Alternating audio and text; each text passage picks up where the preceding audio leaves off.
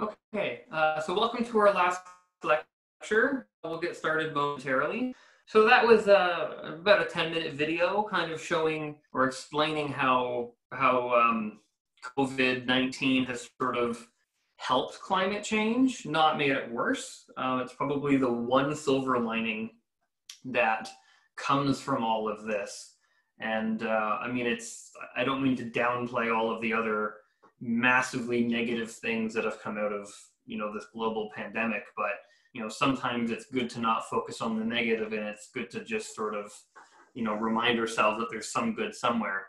And uh, so this video was was uh, you know kind of inspiring to, to see that you know now that we're all trapped at home and we're not all driving to work every single day um, you know there have been a significant reduction in greenhouse emissions. And um, although it's not totally sustainable to keep all the factories off forever, um, I think I think it's been sort of the wake up call that most of the world needed. That you know, hey, look, it's possible. You know, it, it's possible to modify your practices to be more environmentally friendly and still keep your business profitable. And uh, you know, the economy is a lot like like an object in motion. You know, Newton's first law: an object in motion wants to stay in motion. And you know the economy has been booming forward for you know decades ever since our crash in 2008 and uh, there's there's momentum there. And, and people don't want to sort of change their practices because it takes effort and work and it, you know that doesn't happen naturally.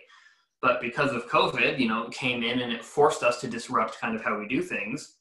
You know it showed it showed all like everyone who runs our economy that hey look it's possible. It's possible to be reducing our emissions and also you know pivot your your business and still kind of make a profit.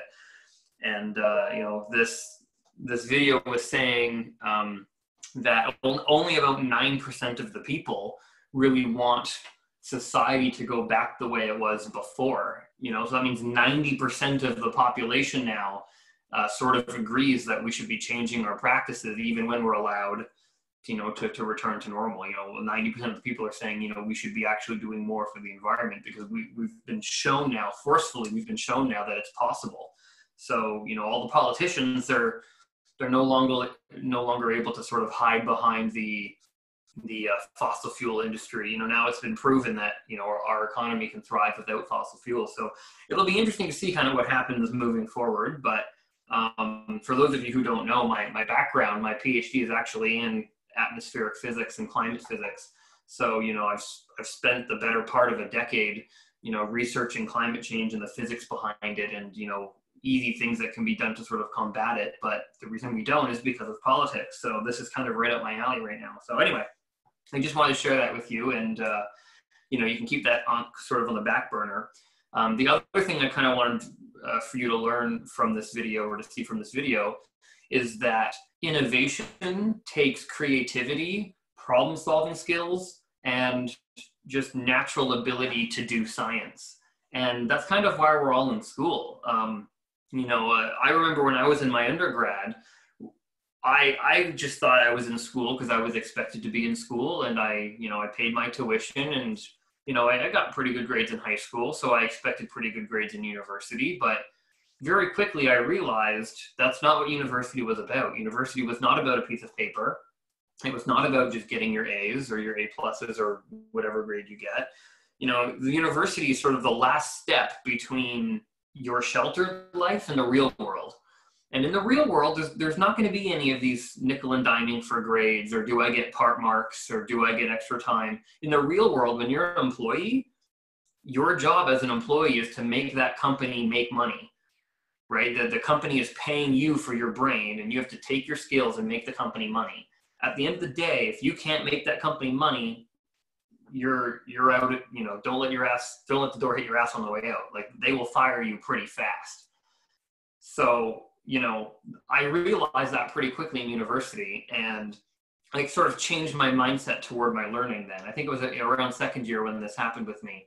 And I stopped in second year, I honestly stopped caring about my grades. I didn't care what grade I get. I didn't care if there was three tests in one day or one test in one day or I didn't care, right? To me, I was there to learn and all a test was is it, it's it's a way for me to see kind of where my learning is at And if I didn't do well on a test, that, told me I'm not able to do physics.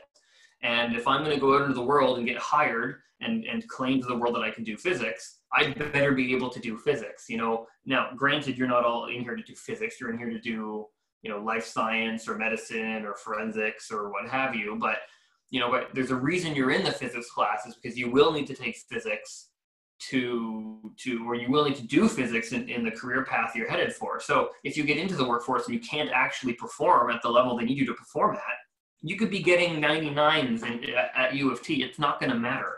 If you can't do it you can't do it. And you know this global pandemic has really really shown you know how scientists are needed to just critically think and problem solve and be creative. And it really shows that scientists need to be able to do not just be able to like take a test properly so um, two birds. You know, I want to show you two things. One, the climate change aspect, and you can start thinking, kind of reflecting about, you know, personal practice about climate change that way. And then two, you as a student, you know, hopefully in the next five or so years, you'll be done university and you can actually be part of these sort of working force scientists working towards solutions to some of these global problems. But you need to be able to actually do the science in order to make a difference. Anyway, enough ranting about that, um, or I guess life teachings about that. Let's move right along. Um, I want to show. Uh, I want to show everyone. Um, there is. I made. I made um, assignment five due at midnight. Let me find it here for you. So a, a lot of you guys have been asking about an extension for assignment five, but and my fault as much as, as everyone else for not realizing it. Um, when, when students were asking, they were saying, you know, can we have it extended like a day or two? Even a day or two would help a lot. And that told my brain, uh, okay, I'm not allowed to do a day or two because that pushes us into the exam period. Um, and university is pretty, pretty strict about that. We're not allowed to um, push it into the exam period. So um, I didn't think of it, but someone, I think one or two students noticed that it was due at 7 p.m. So instead of having it due at 7 p.m., we can have it due at 11:59 p.m. So please keep that in mind. It's not midnight, it's 11:59. So according to the computer, 11:59 and 3 seconds is considered late because the 3 seconds beyond 11:59 is beyond 1159. So the due date is 1159 and zero seconds. I have no ability, if you look here, I have no ability to add 59, 59. I can't say in 59 seconds. Uh, Canvas doesn't allow me to do that. So um, it'll be due at 1159 for everybody. Um, hopefully that extra few hours will help. I've been telling everyone very frequently, especially recently, but through the entire course, yes, the assignments are difficult. Do you know why they're difficult? It's because they're marked. You guys can talk to each other. You guys can Google. You know, um, if we made them just standard textbook problems, everyone would just look up the textbook solutions and then everyone would get perfect.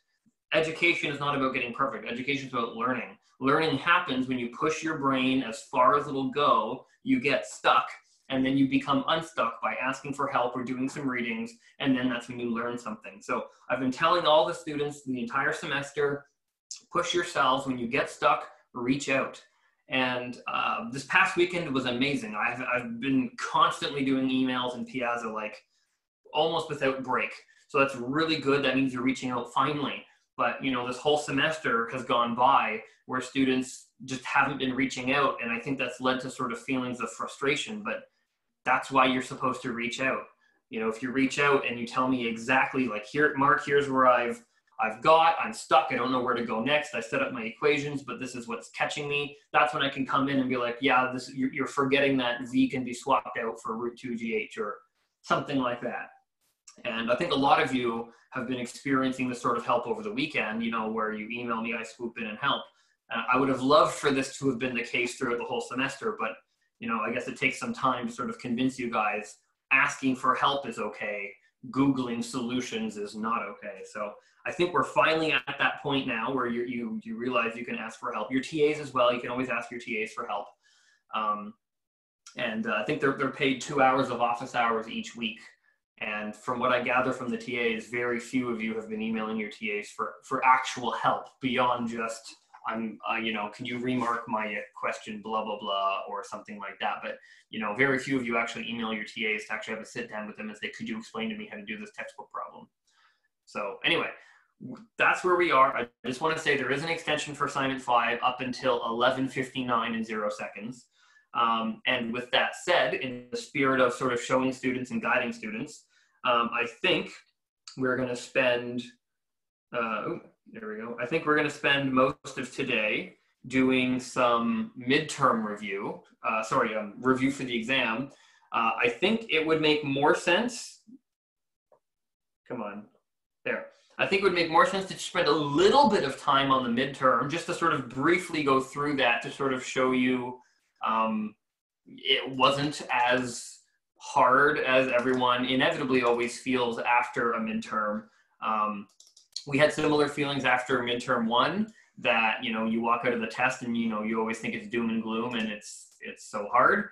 Um, that's true with every test, whether it be online or in person. Everyone always thinks when they walk out of a midterm, um, it's really really hard, and then when we take it up, you see that okay, it wasn't that bad.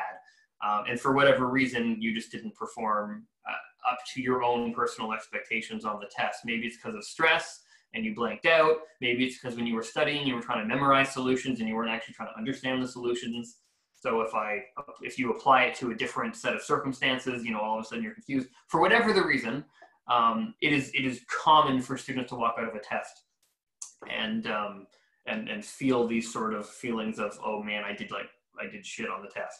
So um, as per usual, let's quickly go through and uh, we'll, we'll, very briefly discuss the solution because I want to spend as much time as possible uh, studying for the, for the exam coming up on Friday. Um, okay, so without further ado, let's just run through this. So um, question one, Mark had a wireless keyboard. Um, and and this is actually true. I bought a wireless keyboard. Um, it just its connection was actually shit. So half the time I was typing, it was missing half my keystrokes and ended up like as I click backspace, backspace wasn't working. So this is totally based on a true story.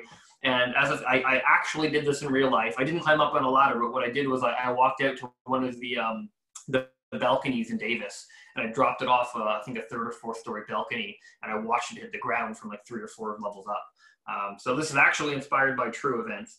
So the question is, can you calculate the force of the keyboard by the ground during the collision? And um, there's sort of two ways to approach this, um, two main ways to approach this. So I asked students to sort of look at this two different ways.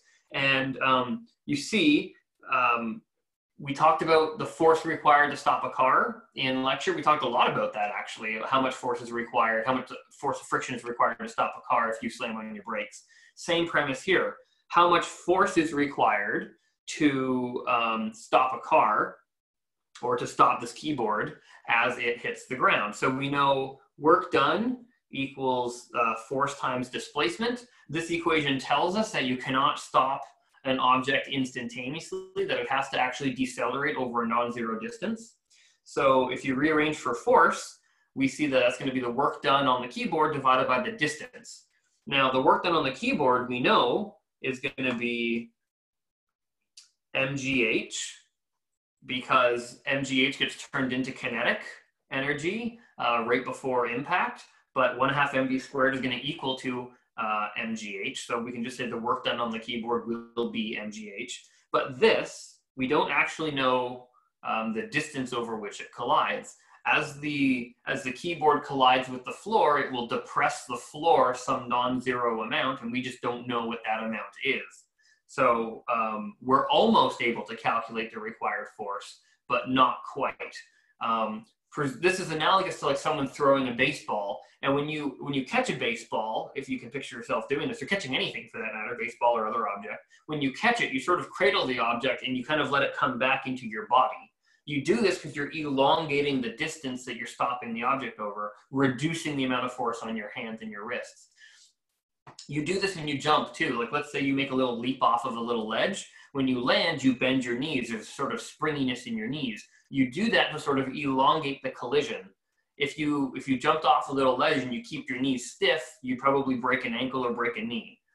Right? So that's what that equation is saying. The other way to study this is using momentum concepts you can say that the change in momentum is going to be F delta T. So this is impulse. And we say the change in momentum is, is simply zero minus mv. Uh, using energy, you can obtain what v would be before collision. So we, we are able to get that, and that would be F delta T. And we can say the required force is going to be mv over delta T. Again, uh, there's something we don't know. We know M. Oh, I'm not able to change my color. Okay, well, we know M, we know V, but we do not know delta T, the time over which the collision takes place. In fact, the, the distance over which the collision takes place and the time over which the collision takes place are very related to one another. If you had D, you could find T. If you had T, find D. So that's the answer to the first one. Um, the second one is very similar to uh, the last multiple choice question on the previous midterm. I think it was multiple choice question nine on the previous midterm. Um, this one is very related to that. So this one pretty much says, um, uh, let me just read it to make sure. Yeah, we're testing an assumption. Um, you know, half the time when we do um, torque or rotational questions, real life objects do not fall into like a nice category. Like real life objects are not uniform rods, right? So we often make an approximation, and you've seen this sort of thing in in, um, in a lot of questions you do. You know, assume the lawnmower blade is a is a thin rod. Well, clearly in real life it's not perfectly a thin rod, but is it a good approximation? Now, if we tell you that in a textbook question, you can probably take it for face value. But the whole point of being trained in physics is for you to start making these sort of critical assessments on your own you know, when you're not in the umbrella of a physics class and we rubber stamp you saying, yeah, you got an 80 in physics, you should be able to, to, to sort of make these reasonable assessments on your own. That's what this question is about.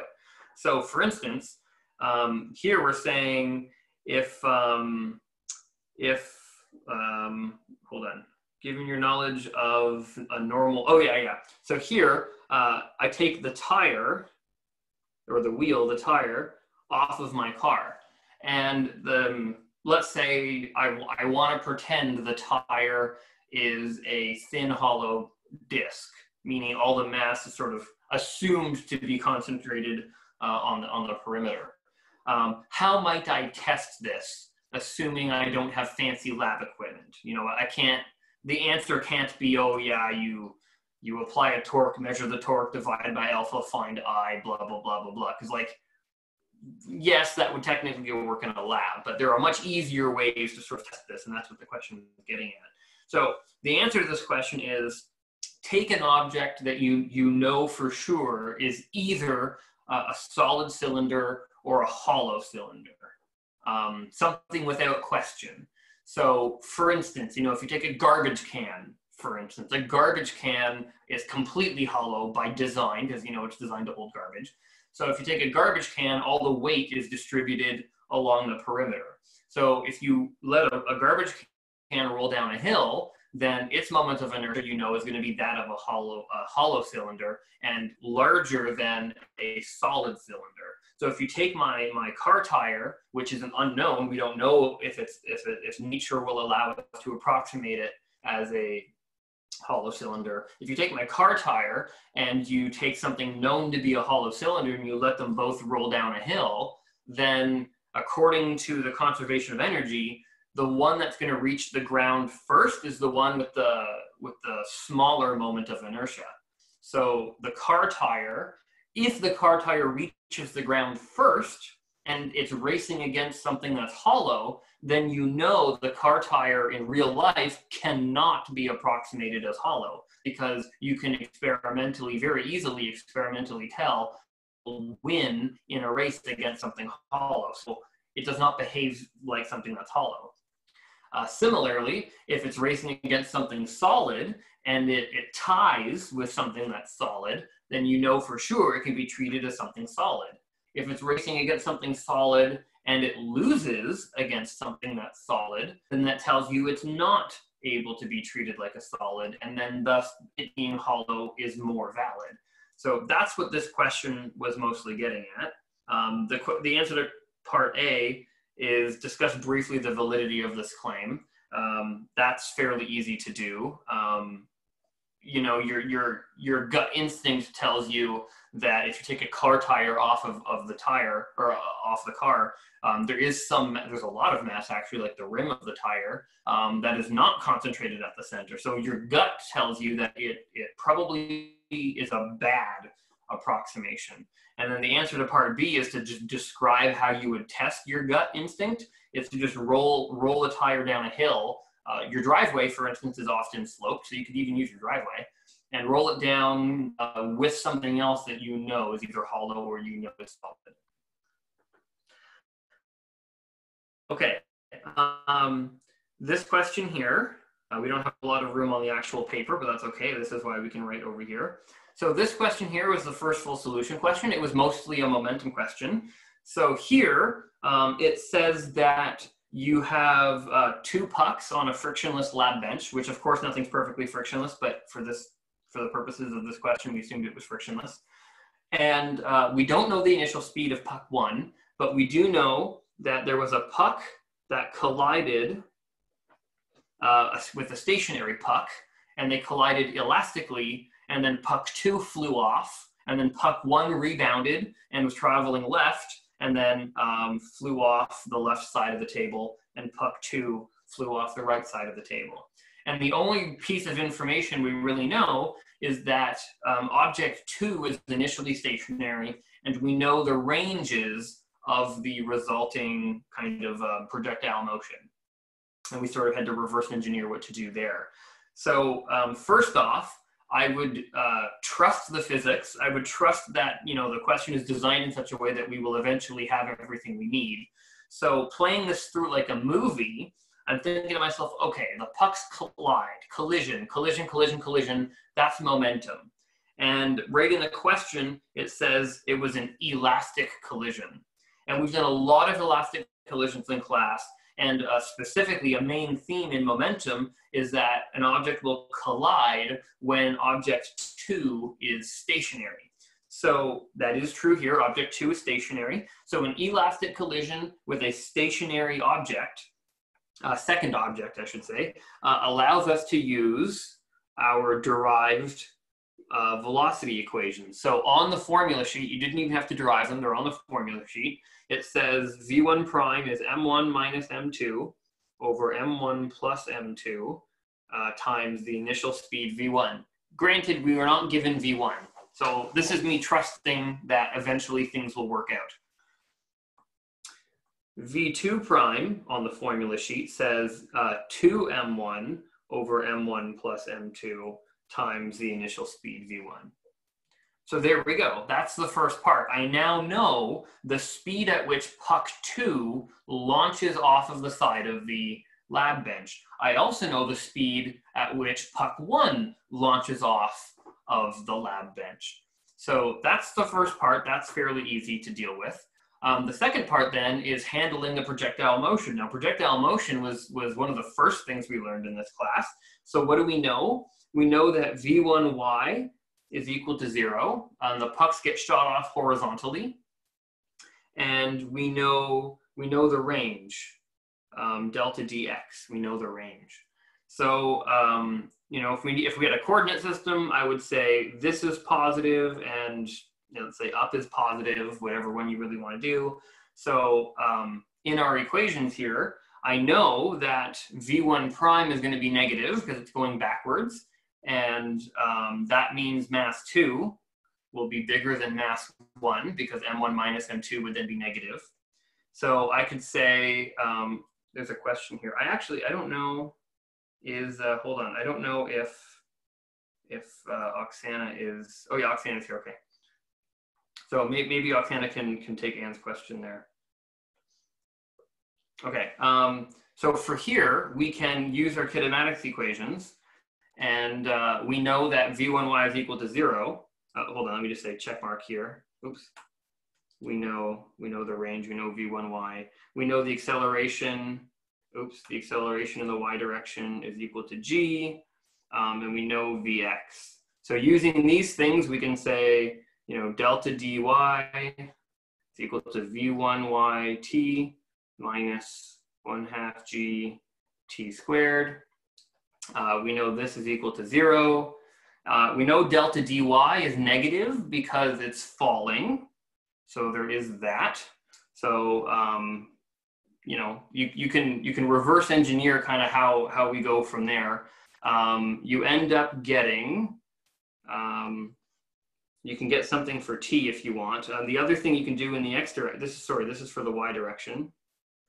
Um, in the x direction, you know the acceleration, this is all for the y direction. Uh, in the x direction, you know the acceleration is equal to zero. Um, Vx is equal to something that we know.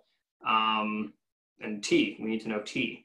So in the x direction, it's actually very easy to analyze. In the x direction, you have Vx equals d over t, vector, vector. And we're solving for t, so this is going to be d vector over v vector. And um, here we know delta D in the x direction is going to be negative because it's backwards.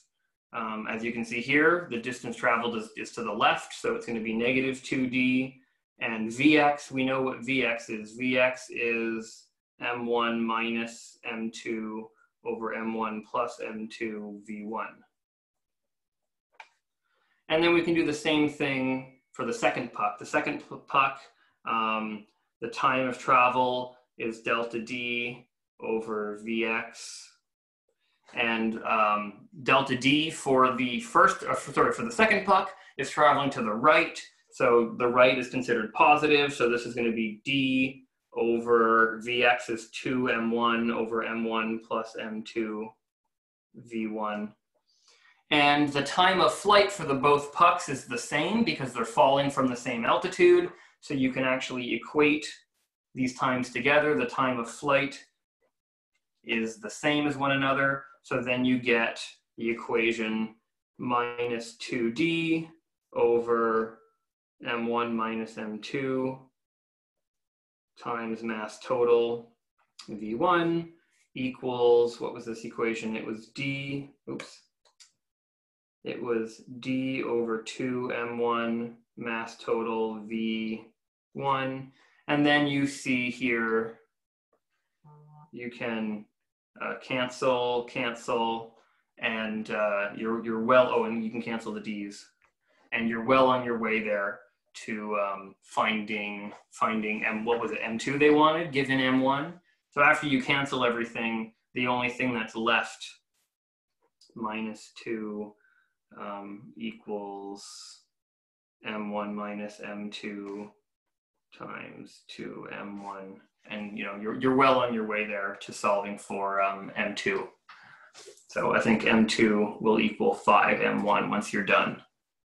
So that's that question. Um, question two.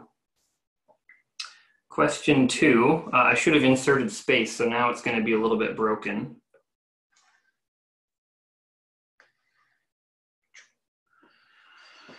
Let's see if I can move, hold on. This is where the lasso would come in handy. Whoop. Let's move that up over there. Okay. And I'm just gonna insert a little bit more space here.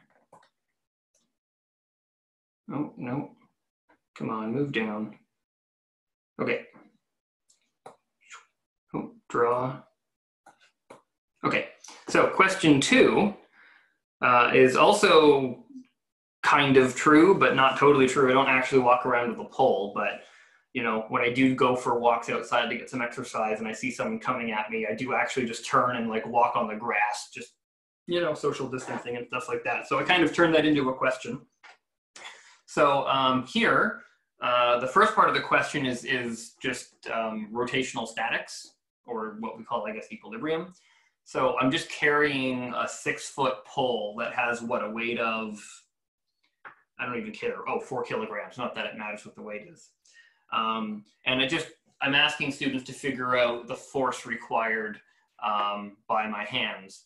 So, you know, first you would draw a free body diagram. You have the force of gravity located uh, halfway at the pole. Um, you have the force of uh, my my hand that's forward, whether it be that my left hand or my right hand. And then at the pivot point, you have my force of uh, this hand pushing down. So you know, picture yourself carrying a broom, you know, just like a long pole. Uh, if if you're trying to hold the pole with two hands, um, one hand, the hand closer to the center of gravity, obviously has to pull upwards. But um, if you didn't have your other hand and you just pulled upwards, the whole thing would go upwards. So your other hand needs to be behind your hand to push down to provide a counter torque, and then that way you can hold it level. So that's how you can easily figure out that one hand has to push down and one hand has to pull up. Um, it was also in the diagram that the hand in front was pulling up. You saw that arrow in the diagram uh, of the arrow pulling up. So that it, it, explicitly told you that. So here we've got the pivot point. So um, we just use torque. So we say the net torque is equal to zero. Um, the, the, premise in the first question is that I'm holding the, the pole horizontally as I'm walking, so it's not accelerating angularly or otherwise. So um, now we just sum the torque. We say the torque due to um, F2, that would be counterclockwise, so that's positive. Um, we have the torque due to the center of gravity. Um, the center of gravity is pulling clockwise, so that would be negative. And um, we have the torque due to F1. But you see that the torque due to F1, F1 is applied right at the pivot point. So the torque due to F1 is zero. Um, so it's really only the torque due to my front hand that is preventing this thing from rotating. Um, the, the force from my other hand is, is allowing me to keep it elevated, but is not providing rotation. So here, this is gonna be the force of my uh, hand that's closer, closer to the center of gravity, multiplied by the lever arm for that, um, minus mg times the lever arm of the center of mass, and this equals zero. So this tells me that the force of that arm has to be mg LCM over LF2. And putting this in terms of variables that are stated in the problem, this is going to be mg and LCM is going to be the length of the pole over 2. And the uh, lever arm for my arm is going to be delta x. It's the one meter. Um, it's the one meter separation between my hands. So overall, it's going to be mgd over 2 delta x. That's going to be the force of my, my hand. Now, that's only one of my hands. My other hand uh, is also providing a force, so we're going to need that. So that's when we use my other, or not my, that's when we use the other condition for equilibrium. So in lecture, we talked about when things are in equilibrium, we used to say that that meant A is equal to zero and F net would be equal to zero like subsequently.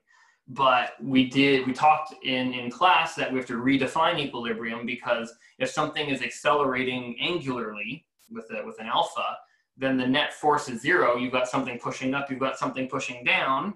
Um, so F net is zero. But if you have something pushing up on the right and down on the left, you're going to cause the same rotation uh, counterclockwise. So it's going to cause a torque.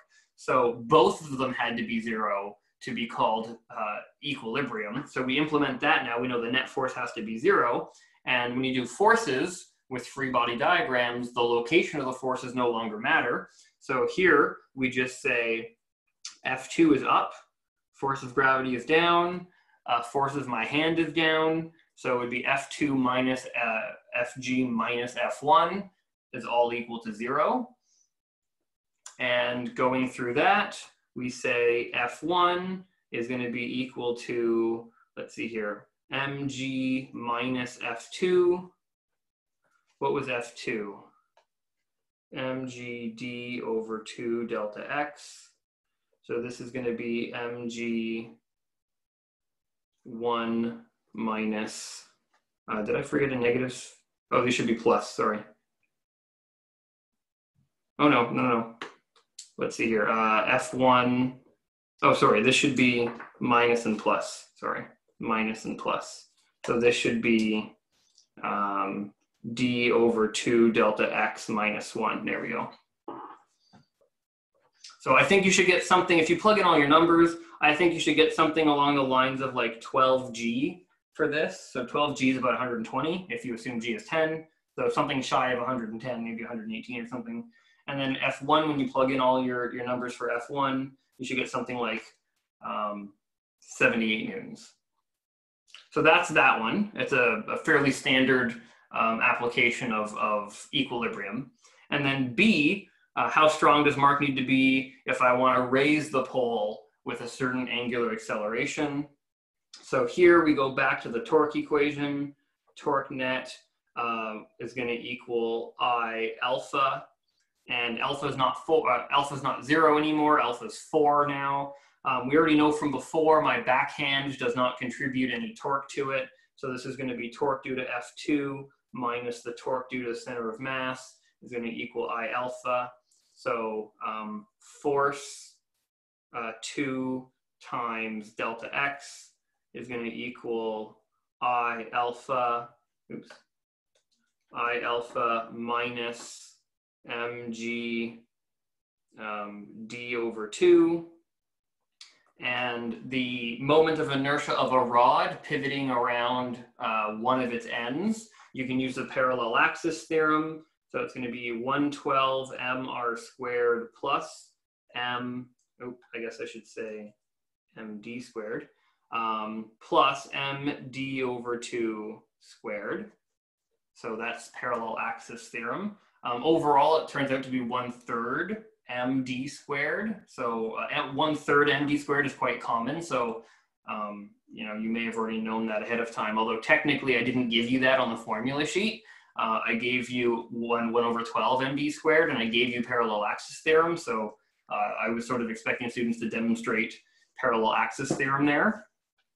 Um, alpha minus mg, oops, mgd over 2, f2 delta x. So from here, you can simply solve for um, f2. I think if you solve for f2, and you factor out everything and you cancel things as, as you can, you're going to end up getting M, md over 6 delta x times 2d alpha plus 3g. So there's your final equation. And if you plug in everything, I think you get around 310 newtons. It's like 309 point something.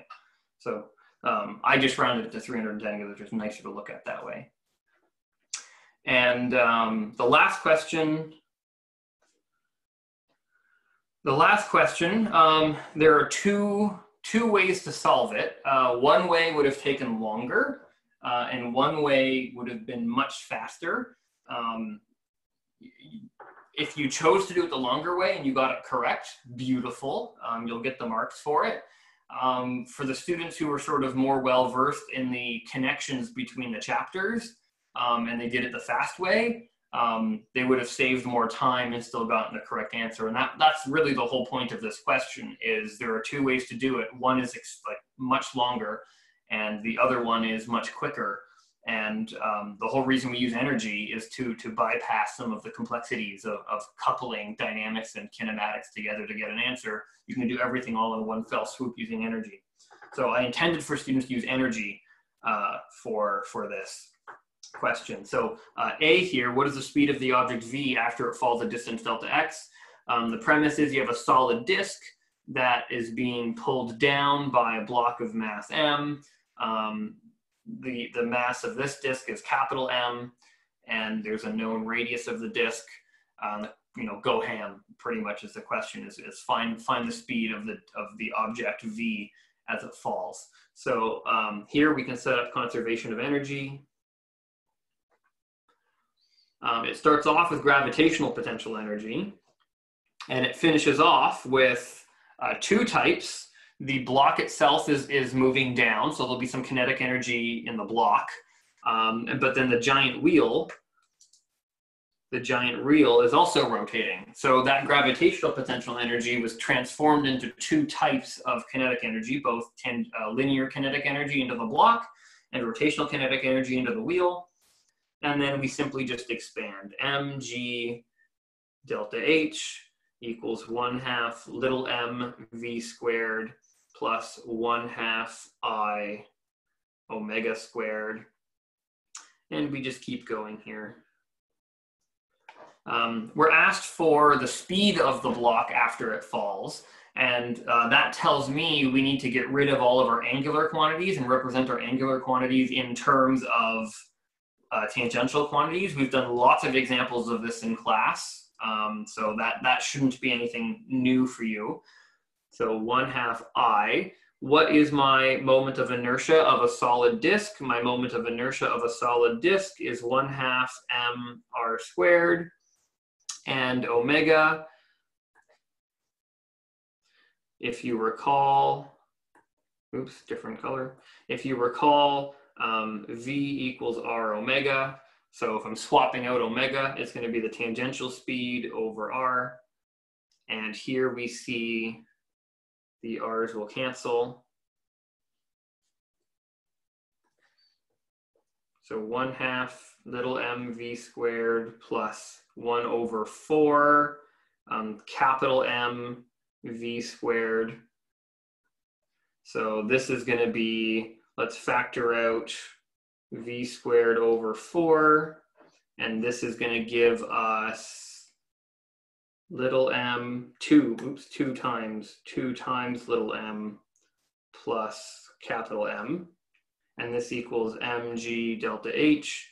So then v is going to equal um, 2 times the square root of mg delta h over twice little m plus capital M. So there you go. It's, uh, you know, conservation of energy can only can only really get so complicated. Um, once once you get sort of the structure of your conservation of energy, like once you get the sort of initial setup uh, where you can explain kind of where the energy goes, um, it's the rest is mostly just algebra, to be honest with you. It's just once you get the, the correct starting equation, you're just kind of uh, expanding, expanding, expanding uh, slowly and slowly and slowly. So, um, you know, that's, that's the answer to part A. Um, part B was more of a concept question. What did part B say? Part B said, um, if the solid disk that we, we did have were to be replaced with a hollow disk with, let's say, the same mass, um, would it take longer or shorter or the same amount of time for that object to fall the same amount of distance delta x? And um, you know the, the question the question is, is a concept question and you say you know a hollow the answer to b is that a hollow object has a higher i value so if you have a higher i value um, more um, more energy will be diverted. Diverted is perhaps not the quite correct words. I'm going to put it in quotes. Um, more energy will be diverted into rotation and stolen from the kinetic energy. So um, if you have a larger I value, more energy, more energy of the MGH is is diverted in, uh, into one half I omega squared, making one half mv squared smaller, and then that means you have less speed. So overall, it'll take longer because it will be traveling slower if the if the disk has a larger I value. Um, also, you can think about this in real life. You know, if you have I don't know, if you have something small, like a small pulley or something, you, you drop some string over it, um, it's it's to be pretty easy for it to fall. But if you have, a, you know, all of the mass uh, distributed uh, of this pulley distributed on the on the ends, you can feel that it, it, even if you try to move it, you can feel it's going to be harder to get to get rolling. So um, if you're applying the same force, and you are, you're applying little m times g. If you're applying the same force to get the pulley moving, or to get this mass rotating, uh, it's not going to rotate very easily if most of the mass of a pulley is concentrated along the perimeter. So um, part B there was uh, sort of a concept seeing how well students just truly, truly, truly understood uh, the implications of moment of inertia. Like, do you actually understand that if you have the mass concentrated on the outside, it's harder to get moving? So those were the three. Those were the three full full solutions questions. um, in a nutshell. Um, you know, part A here was not that many lines, one, two, three, four, five or six lines. Most of them was just because I was showing my steps. Um, part B was only a few sentences. Um, let's see here. The previous question, the previous question wasn't too bad. It was uh, part A of, of question two was, there was two main parts to it. It was um, uh, tau net equals zero and f net equals zero. Each of them respectively was only about four lines. Uh, pretty, pretty standard for a f net equals zero and tau net equals zero.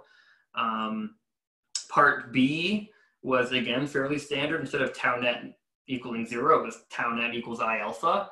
Um, so just because that zero isn't there doesn't really make the question any any harder. Uh, it's the same setup as before. It was F2 minus uh, F2 minus the the um, torque due to center of gravity, just like before. So you're piggybacking on on the work you've already done there. Um, and the what I what I would think is the hardest question was was problem one, and half the question was just copying the formulas from the formula sheet because it was an elastic collision with one of the objects um, initially at rest. Um, the hard part about question one is, like, I guess, assuming or trusting that the object uh, that that the solution would was properly structured and, and things would cancel as you needed them to cancel. Um, sometimes that sort of faith in in physics isn't isn't quite developed in students until they've practiced a lot. Um, I learned very early on that, you know, if, if my physics prof is giving me a problem, odds are they know what they're talking about, and I should just trust trust that the question is is valid. So, you know, right from first year, I, I would just do the questions blindly. So if I didn't have a variable, I would just say, screw it, I'll deal with it later if, it, if it's still in there. And 99% of the time, the variable would cancel out. And I'd be like, all right, see, there you go, I didn't need it anyway. So that would be the hard part about question one, but the other ones I think were, were fairly straightforward. And the, um, the short answer questions above, I think they, they wouldn't have, uh, there was no curveballs in there either, I don't think. It was just a, a pretty standard application of, of F, of F delta D for work and impulse, as well as, um, you know, seeing if you could actually do things in real life. Like if in, in real life, if you didn't have a textbook in front of you, um, how well do you actually understand the concepts to sort of make a, a real life conclusion? So, okay, anyway, there's, there's your midterm in a nutshell. Um, I do want to save some time for uh, exam practice, but before we move on, um, I'm going to look quickly at the chat. And I think, yeah, Oksana's been diligent. Um, thank you, Oksana, for taking those questions. I'm looking at the chat now. So if anyone has specific questions uh, for me about the midterm. I'll take them now for a few minutes, and then maybe in three minutes or so, we'll transition to, to exam prep.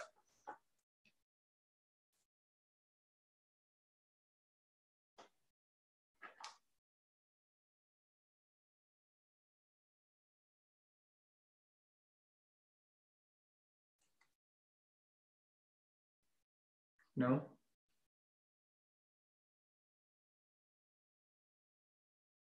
Okay, well, it doesn't look there's any questions from the midterm. Um, at least, oh, there. Can you do the first short answer? I thought I did. It's, it's right here. Oh, now, now OneNote is frozen. Of course it's frozen. Don't buy Windows. Come on. We're, okay, it's still, oh, okay. Okay, so here's for, for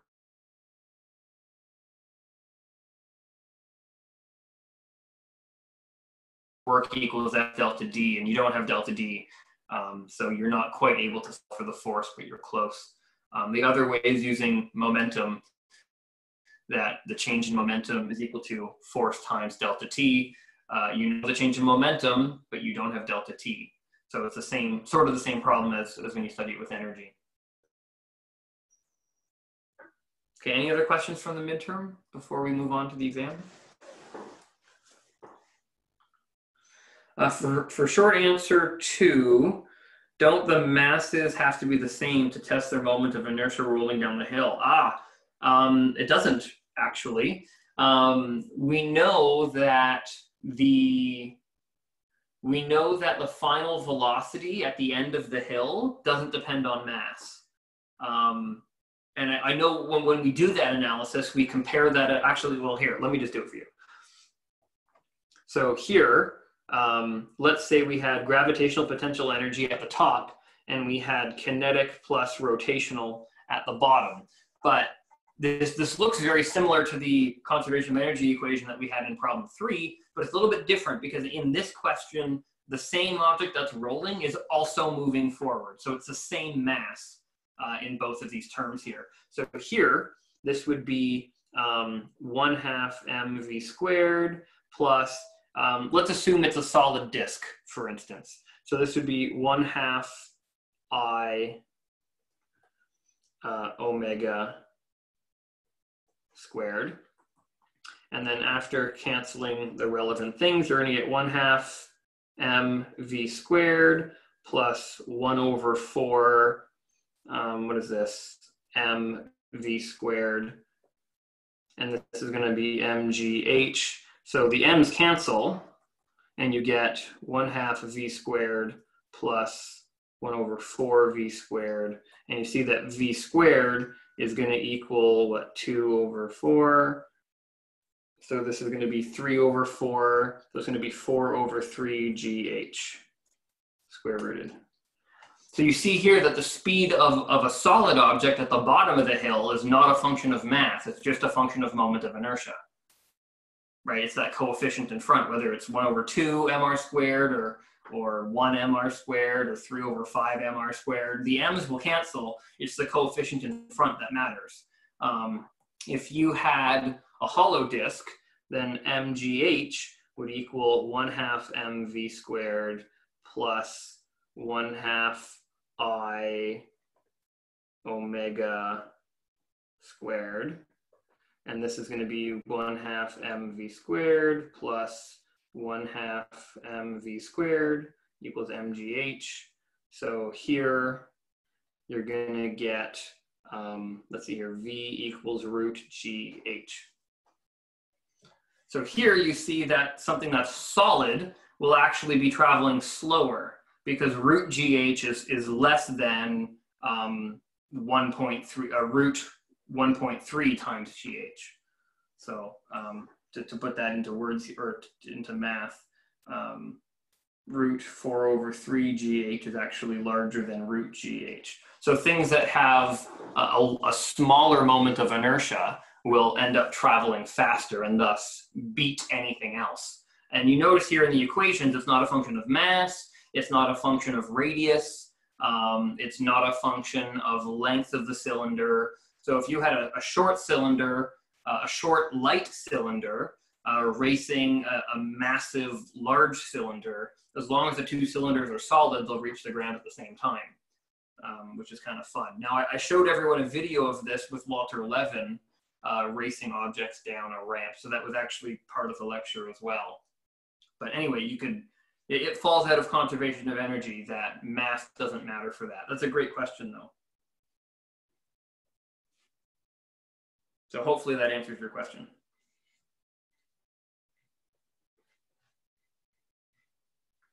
Okay, so it's two o'clock. We have about an hour left. Um, I would like to ask you guys, I've posted, um, as is U of T tra tradition, um, I've mentioned, I think, in my announcement that instructors don't actually legally own their exams. It's kind of weird. Um, a University of Toronto examination is, is a very regulated process. And the Office of the Registrar is responsible for scheduling the exams, not me. Um, and there's a you know a huge amount of regulations with with exams, and um, we don't actually own them. They own the exam, and what an upside to this is they're actually they've chosen because they have the intellectual rights to those exams what they've chosen to do is they've chosen to post them on an exam repository for all u of t students. Doesn't matter what campus you're from scarborough st george or, or mississauga. So um, all of the past exams are, are readily available online thanks to the office of the registrar. So you can actually look up all the past exams um, I'm going to ask you, this is the fourth time I'm teaching the class, so there's three previous exams that are posted. I'm going to ask you uh, right now in the chat, is there a preference? Actually, let's, let's do this. Because um, if everyone just starts typing, I'm not going to be able to to see what's happening. So let's say um, A, let's see, 2017, um, B, 2018, C, 2019. And what I'm going to do is I'm going to launch a poll. Launch poll. There we go. So you should see on your screens now um, a poll. Obviously, ignore ignore um, D and E, but I want to see your votes. Do you want me to start working on um, exam 2019, exam 2018, or exam 2017? And whichever one is the Democratic winner, um, we'll we'll just start doing the in the hour that's remaining.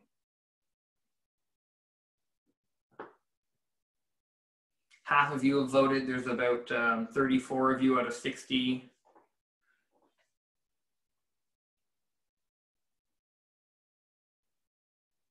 Forty of you out of fifty-nine. Some somebody somebody jumped out as as we were doing exam review. I, I hope that's just a, a an internet um, problem. It's, I, I hope they did. I hope they're not like okay, yeah, exam prep. I'm done.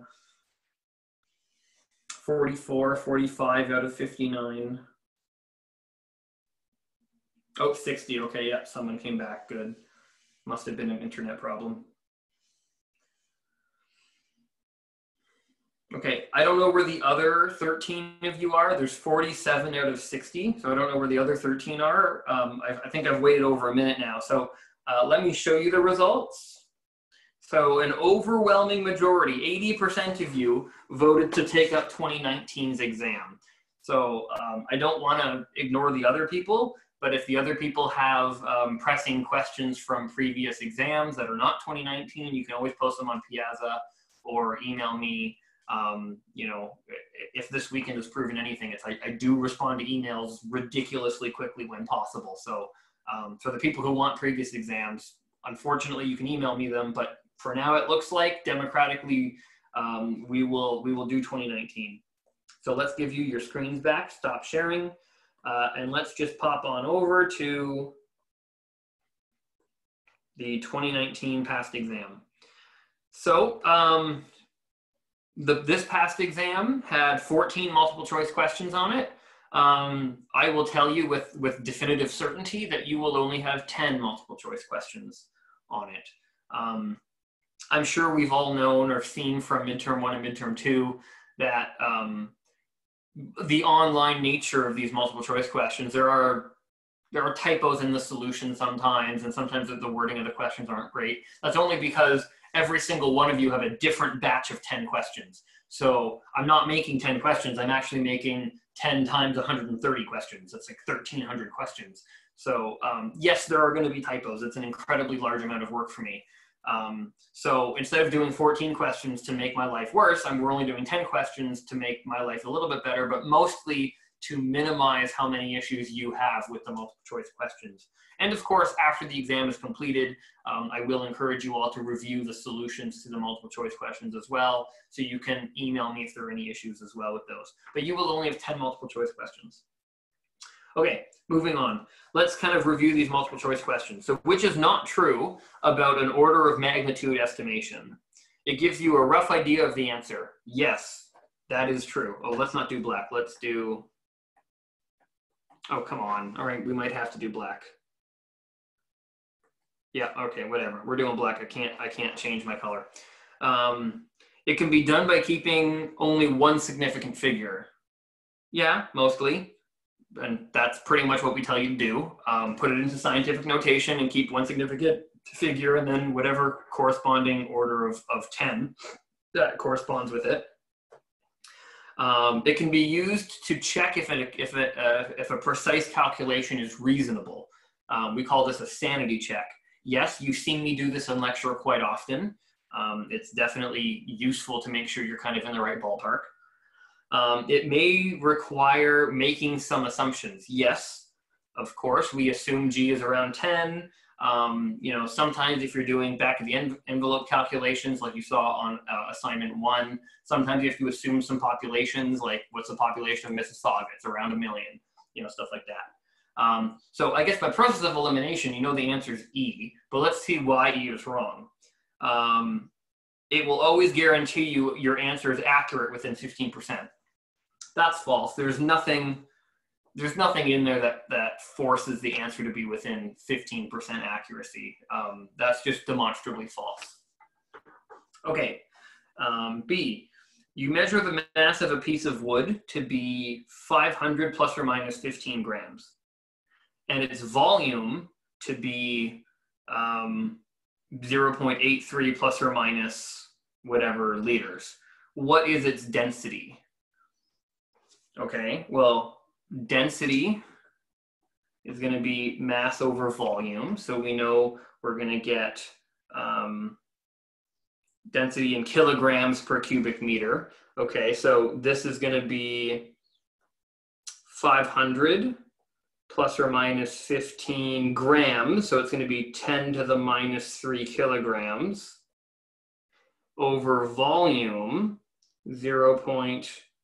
0.83 plus or minus 0.03 liters, but uh, density is in kilograms per cubic meter. So um, this is also going to be times 10 to the minus 3 to convert.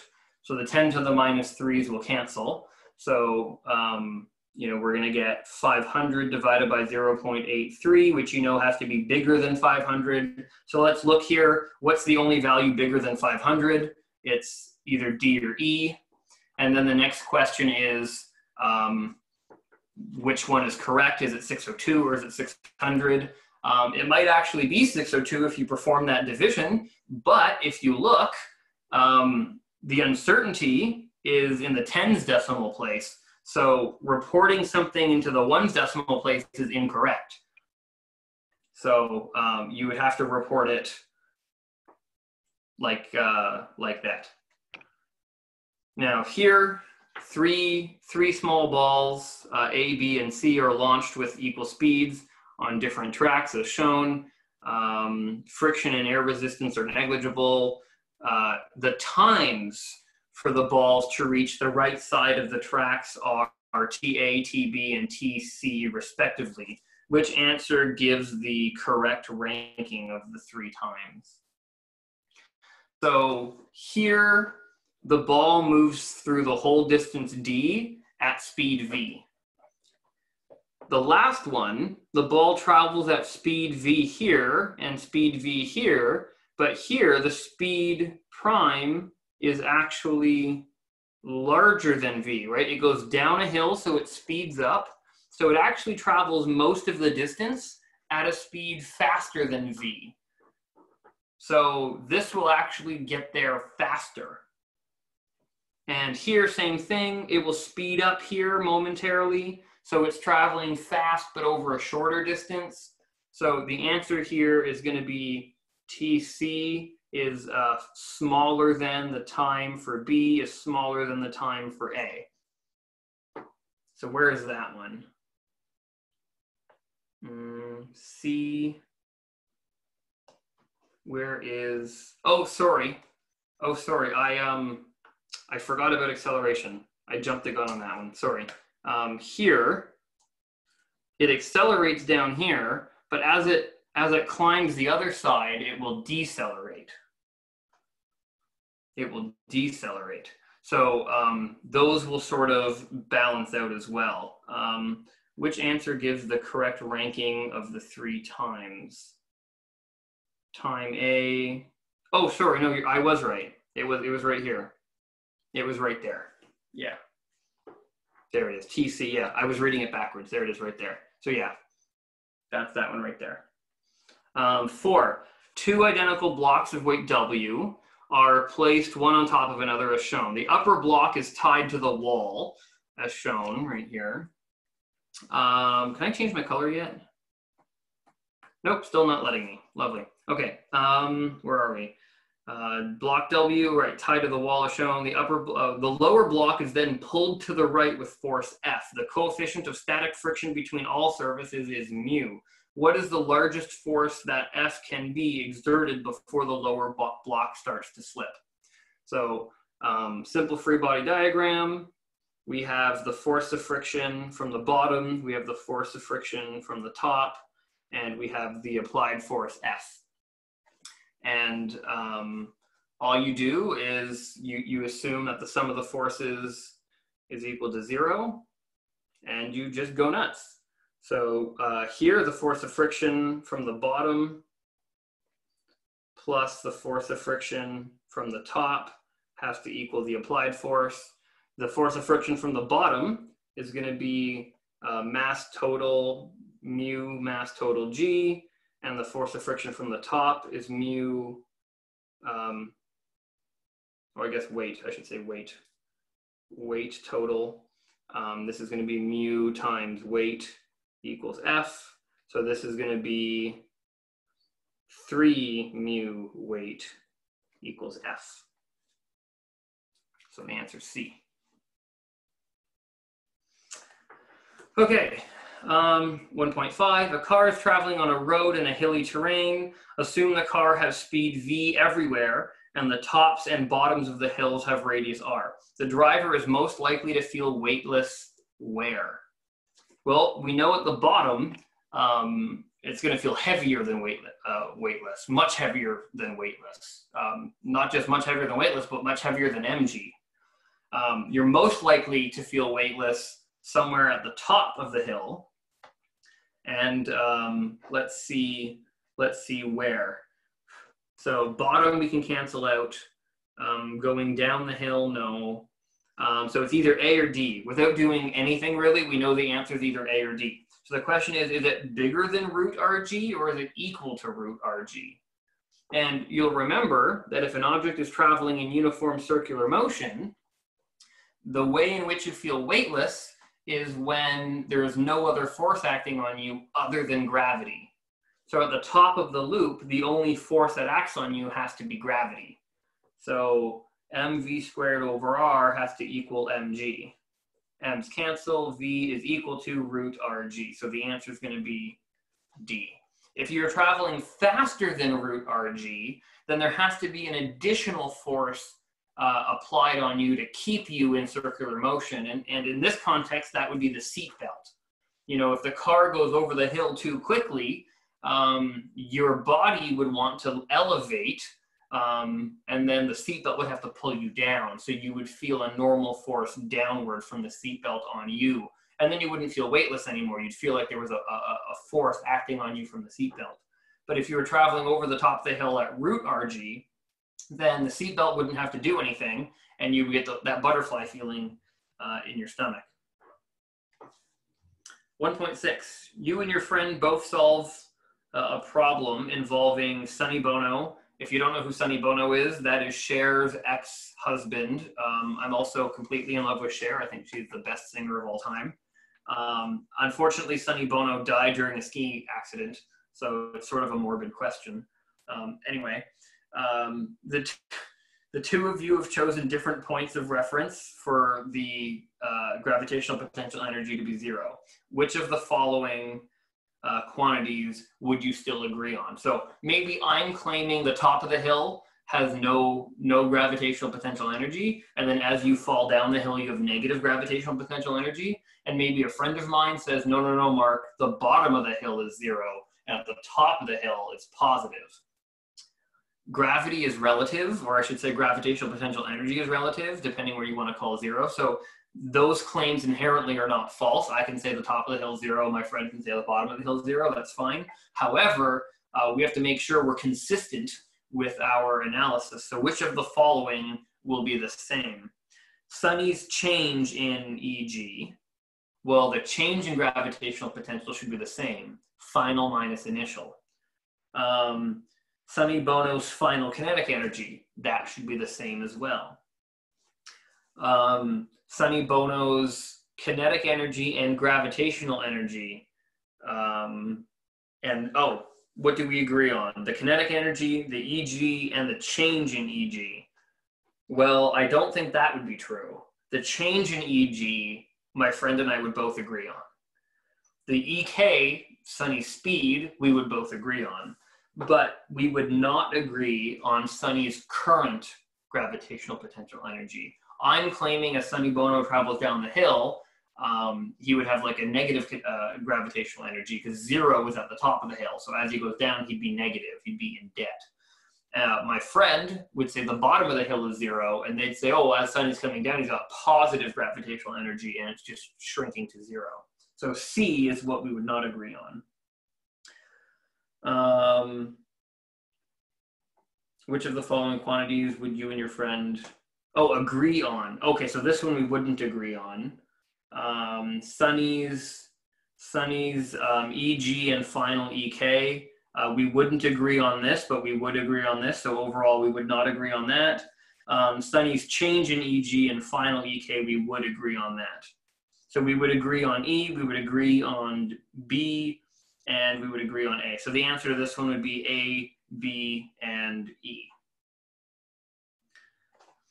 Okay, um, 1.7. A student took before and after data of two carts involved in a collision based on the data. Uh, based on the data, the best explanation is carts had elastic, partially inelastic, totally inelastic.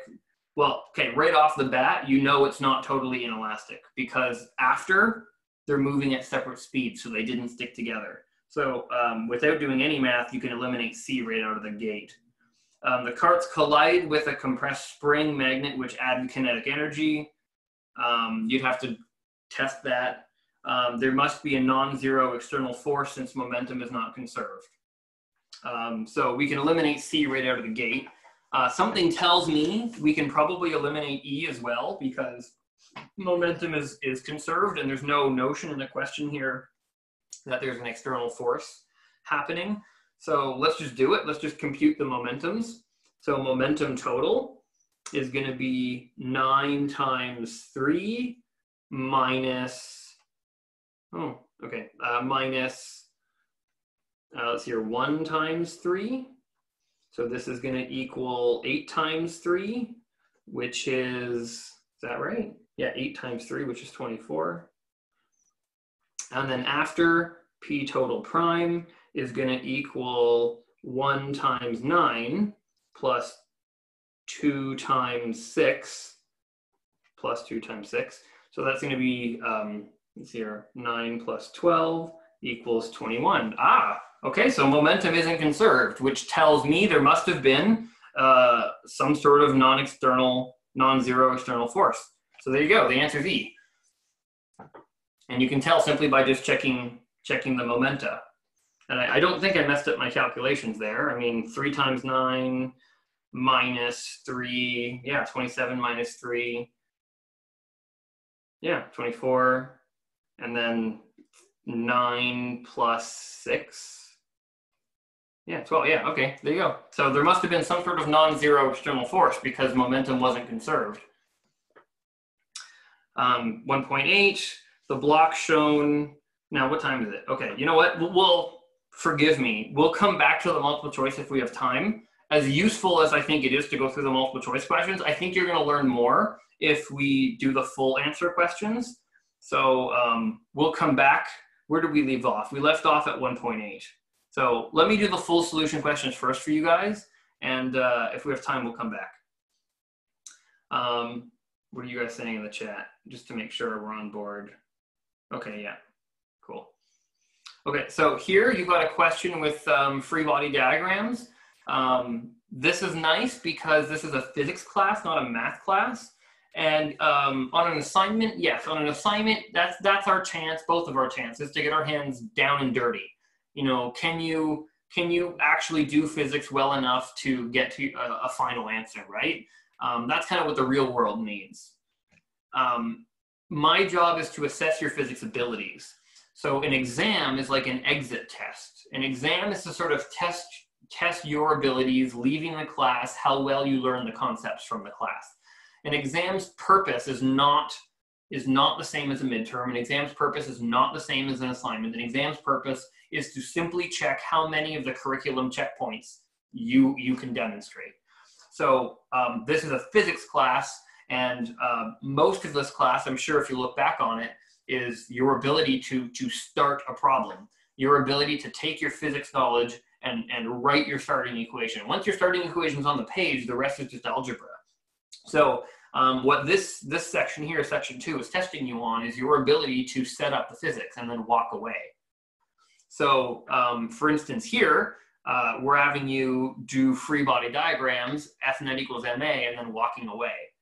So, for instance, um, I mean, we could be here a while because there's a lot of these, but you know, like the blocks, for instance, uh, the free body diagram for block A.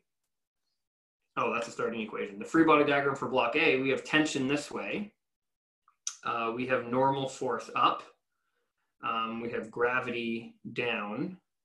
Do we have friction? Yes, kinetic friction. So if block B moves this way, then um, the uh, block is going to move, block A is going to move backwards relative to the bottom. So friction is actually going to be forward. And I think that's all for block A. For block B, we have tension backwards. We have the force F. Uh, we have the friction from the bottom backwards. And we have friction from the top backwards as well. So there's your free body diagrams. And then uh, I asked you to do F net equals ma and then just walk away. So um, for, for block A, we would have tension minus force of friction equals ma we would have normal force minus gravity equals zero. Uh, for block B, we would have force minus tension minus force of friction from the top minus force of friction from the bottom uh, equals MA. And there you go. Simple, and then, and then just walk away, right? That's the physics. The physics is knowing how to draw the free body diagrams, knowing what F net equals ma is, knowing the forces. The rest of it is just algebra. So, you know, set it up and then walk away. Uh, something like here, for instance. Um, here's the question, at what, at what rate must a cylindrical ship rotate, blah, blah, blah, blah, blah, to simulate gravity? Okay, well, you know, the premise of the question is um, it's the gravitron, right? You have, you have a cylinder that is uh, rotating and you have an object in here that is rotating with the cylinder. So the only force acting on it would be the normal force. That's it, right? Um, that is what simulates gravity. Um, the starting, oh, I suppose, sorry, I suppose I should be drawing this here, the normal force. And then the starting equation, F net equals mv squared over r would be the normal force equals mv squared over r, and then walking away.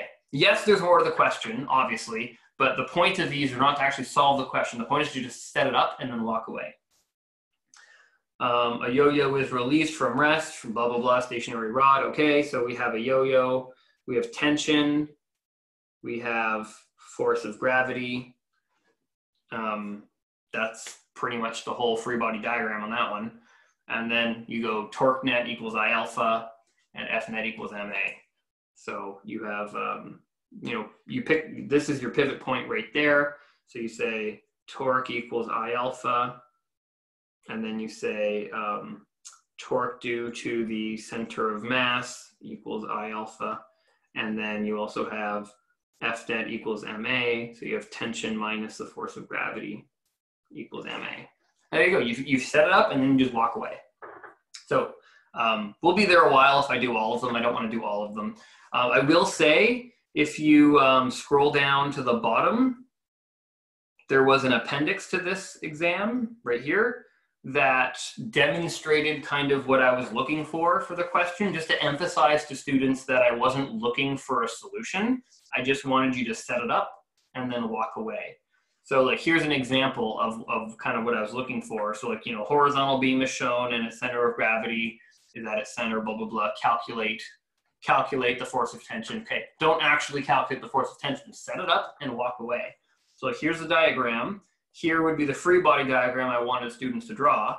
And then here is a pretty standard application of um, torque equilibrium and uh, translational equilibrium. So torque equals zero, net torque equals zero, net force equals zero. Sum the torques, sum the forces, walk away.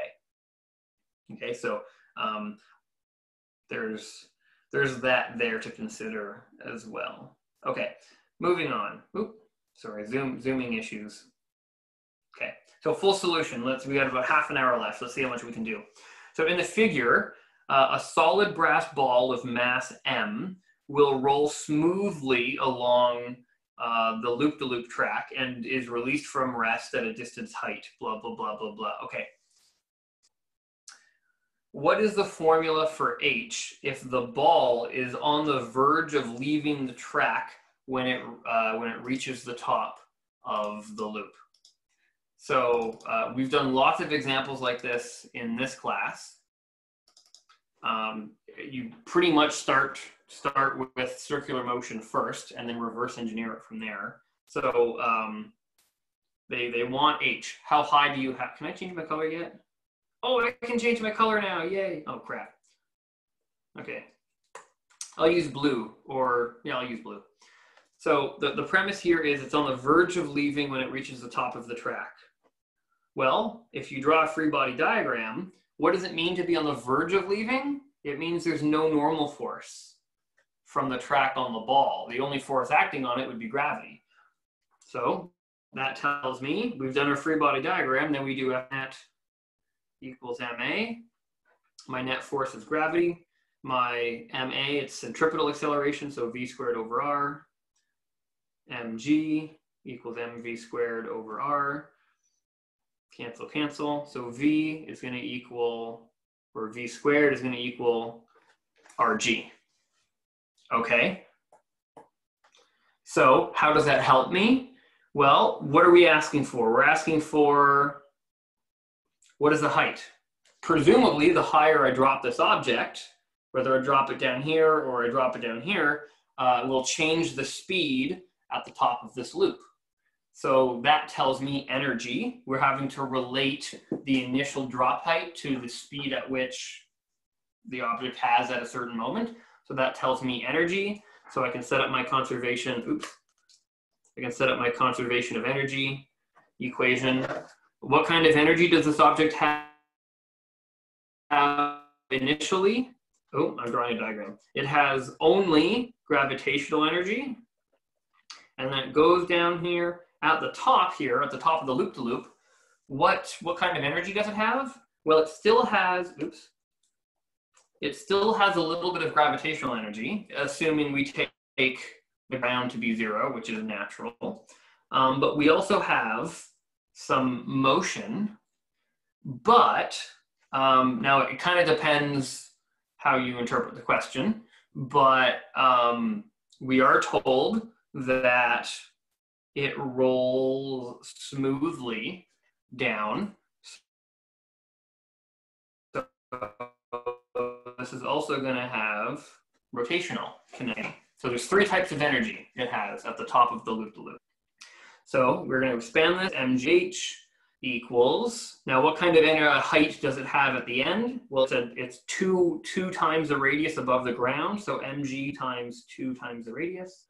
Um, kinetic energy, one half mv squared plus uh, rotational, one half i omega squared. Now the question here says it's a solid ball. Okay, so let's take a pause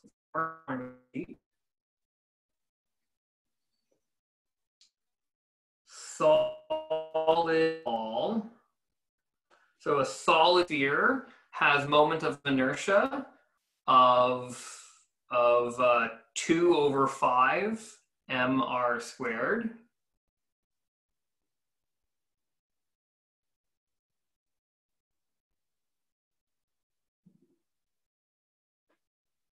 Where am I? Scroll, scroll, scroll, scroll, scroll. Oh, here we go.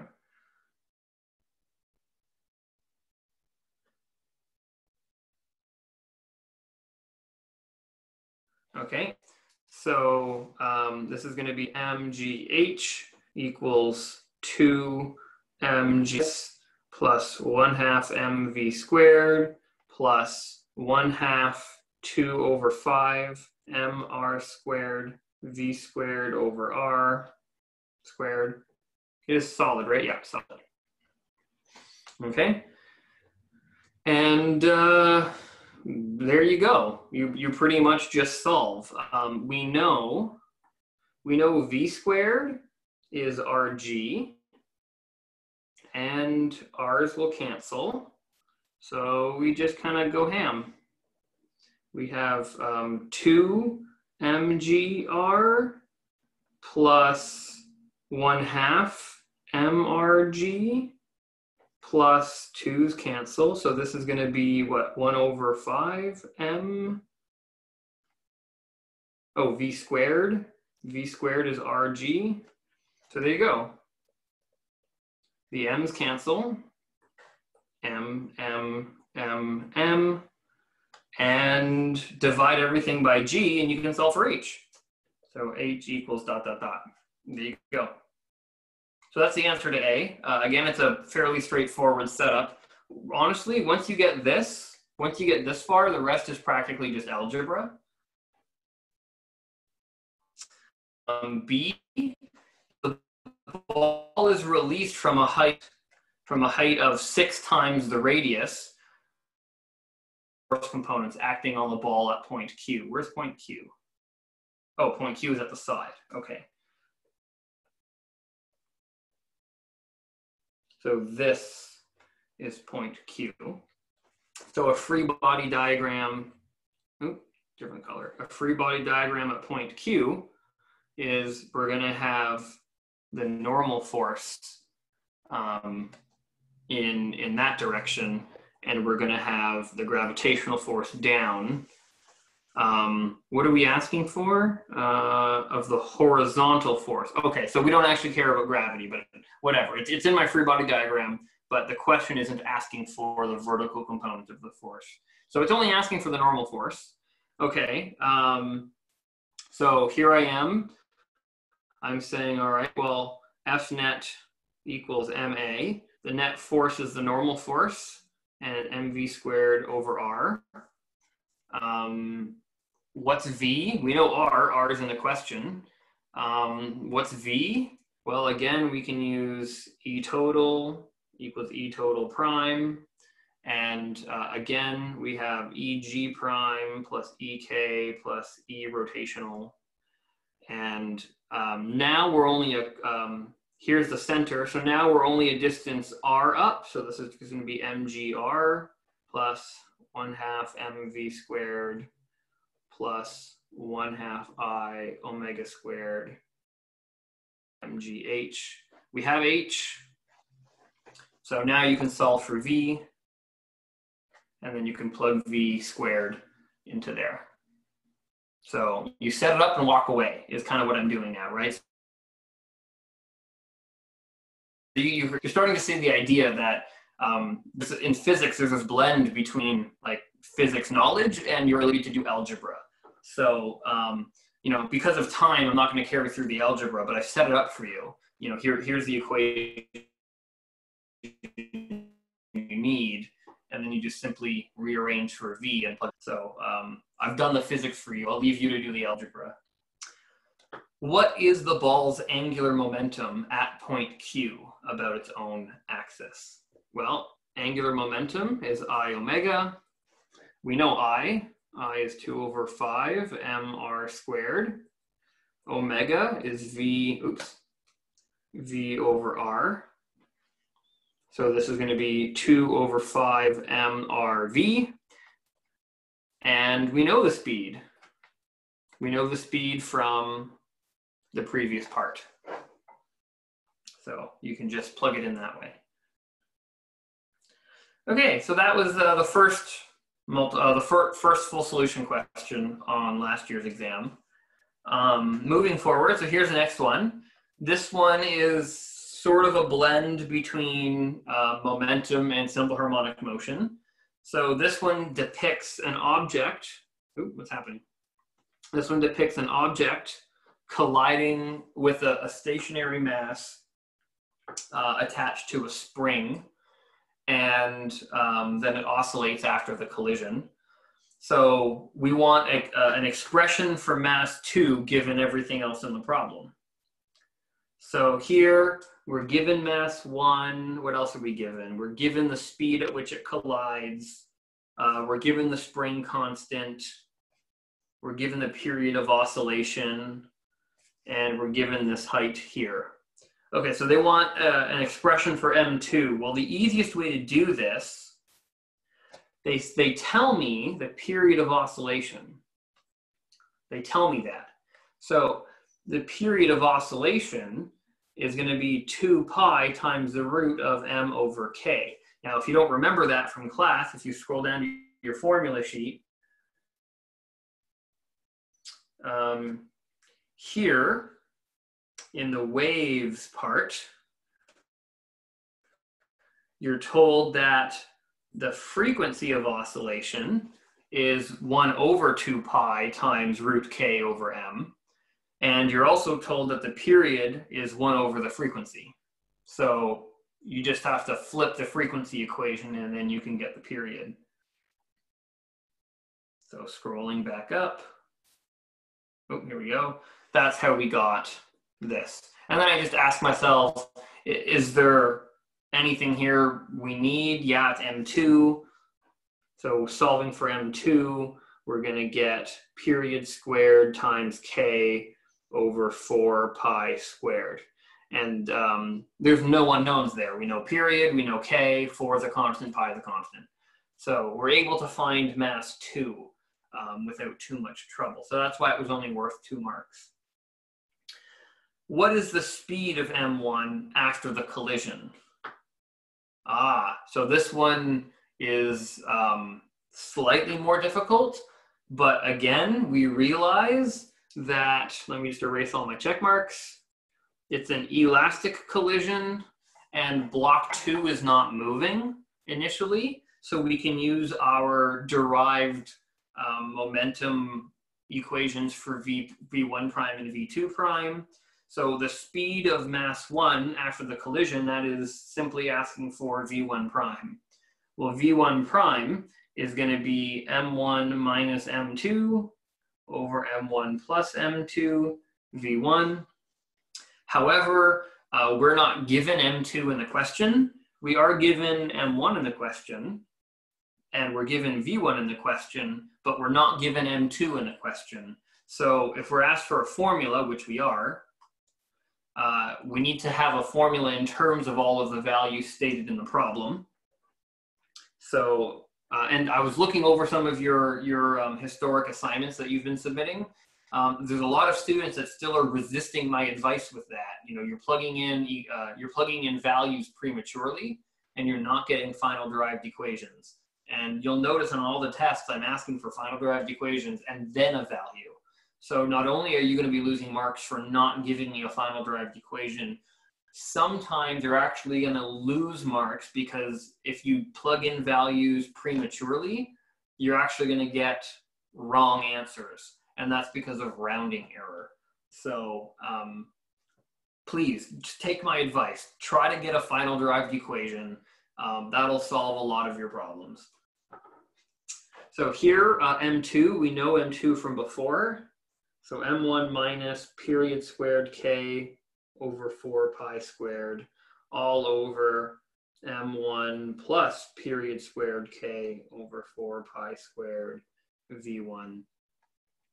And you could leave it there, I suppose, although this, this looks a little bit messy for my liking. So I can multiply everything by, um, by, by 4 pi squared, and I can get 4 pi squared m1 minus period squared k over 4 pi squared m1 plus period squared k all times v1.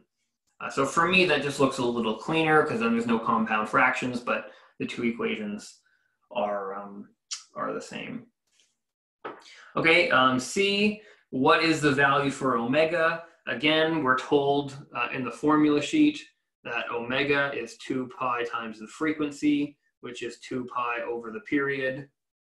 So um, you have the period. The period in the question is 0.14. So 2 pi over 0.14. And what does that give you? That gives you, it's going to be around 40. It's going to be around 40. I don't have a calculator with me at the moment, but it's, it's going to be around 40. Uh, and the units for omega is radians per second. That's approximately 40. It'll be a little bit higher than 40, actually. Um, what is the range of the projectile? Okay, well, presumably um, after colliding with uh, block two, um, the resulting velocity will be negative, it'll be backwards. Um, so it will slide off the edge of the table here with a certain velocity. This is a very similar problem to what we had on, on this past midterm on Saturday. Um, we have V1 prime. I asked for V1 prime in the previous question. Um, uh, this thing here was V1 prime. So we have V1 prime, and then you can just easily do your um, your um, uh, kinematics equations with with that as well. So we know the time of flight is going to be based on the height that falls. So the time of flight, if you solve, is going to be um, 2h over g. Uh, you can get that with, oops, delta d equals v1t plus 1 half a t squared. So you can, you can find the time of flight that way because the initial speed is zero. Once you have the time of flight, then you can say vx equals the range over um, time.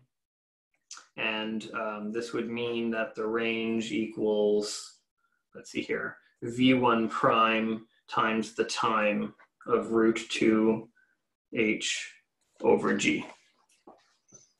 And there you go. You have, you have uh, this formula for v1 prime. You can plug it in there. Uh, okay, and then E is the last part. Um, how much farther would M1 travel if the mass were doubled. And the whole point of having you do a final derived equation is you can see uh, how, how things affect one another. Um, uh, if, sorry, if each mass were doubled, you can see you can see from plugging everything in that uh, if, if every single mass was doubled, it wouldn't actually impact anything, which is which is kind of nice on that front. But um, that's harder to do if you don't have a final derived equation.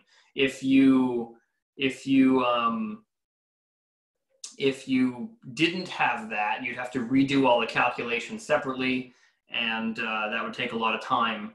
And that's that's obviously quote. That's, that's, I don't want to say it's a trick or a trap, but you know it, it's not a secret. I've been telling everyone all semester to make sure they have final derived equations because then you can kind of see the relationships between these variables uh, fairly easily. Okay, uh, moving on. So here's Cher again. Uh, I've mentioned before that I like Cher.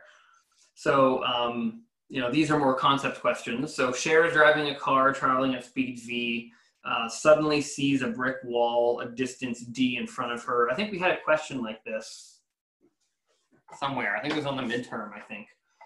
Um, it wasn't this past midterm. It may have been midterm one. I can't remember. Um, it was somewhere. It was definitely somewhere. I remember. To, oh, it was in lecture. I remember talking about this in lecture. That's what it was. Um, it was. I'll find it for you. Actually, where did we talk about that? We talked about that here, right there. That's exactly where we talked about it. So we, we did talk about it in the energy, uh, in the energy lecture, right there. So where does that leave us though? Let's revisit this. Uh, suddenly sees a brick wall, a distance d in front of her. Um, this world is definitely not living is worth living in without Cher. So we, we want to save Cher's life. Um, she's actually in her 70s now. I think she's like 72 or 74 or something like that. She's she's getting pretty up there, and she does not look like she's 70. But anyway, um, so what's better for her? If you have a car that is traveling at a, uh, towards a brick wall, what's better? Uh, what's more likely to save Cher's life? Uh, to slim, simply uh, slam on her brakes uh, and, and not turn the wheel, or to turn her wheel in circular motion, but without slamming on her brakes. So the, the plan of action here is to see which one's more likely. Now, in both case, the force responsible for stopping is friction. So we know with static friction, you can overcome static friction, right? You can, if you overcome static friction, it turns into kinetic friction and then there's sliding and then that's a problem. So really, we're trying to say which, which uh, scenario, braking linearly or not braking and turning, which scenario re requires a lower force. Because whichever force is lower, that's the one that is more likely to succeed. Now, maybe maybe Cher is traveling slow enough that both of them would work fine. Maybe Cher is like me and traveling way too fast, and um, and uh, either scenario would cause slipping.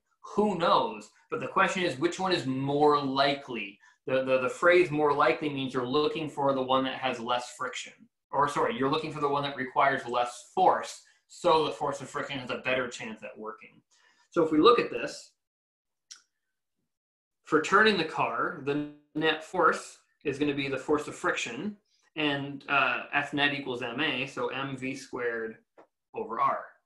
So presumably, if she's turning, the maximum distance she has between herself and the wall is going to be the radius of motion.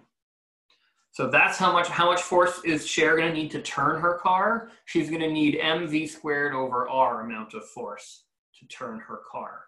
Now, if she stops uh, linearly, then the work done is going to be F delta D. Now, the work done, uh, well, what work needs doing? Her kinetic energy needs absorbing. Her kinetic energy needs to turn into friction. So this is going to be force delta D. And if you solve for the required force, uh, the required force is going to be mv squared over 2 delta d.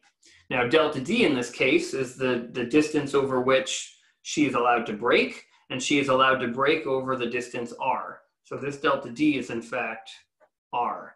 And it actually turns out that, uh, maybe I'll draw this in a different color.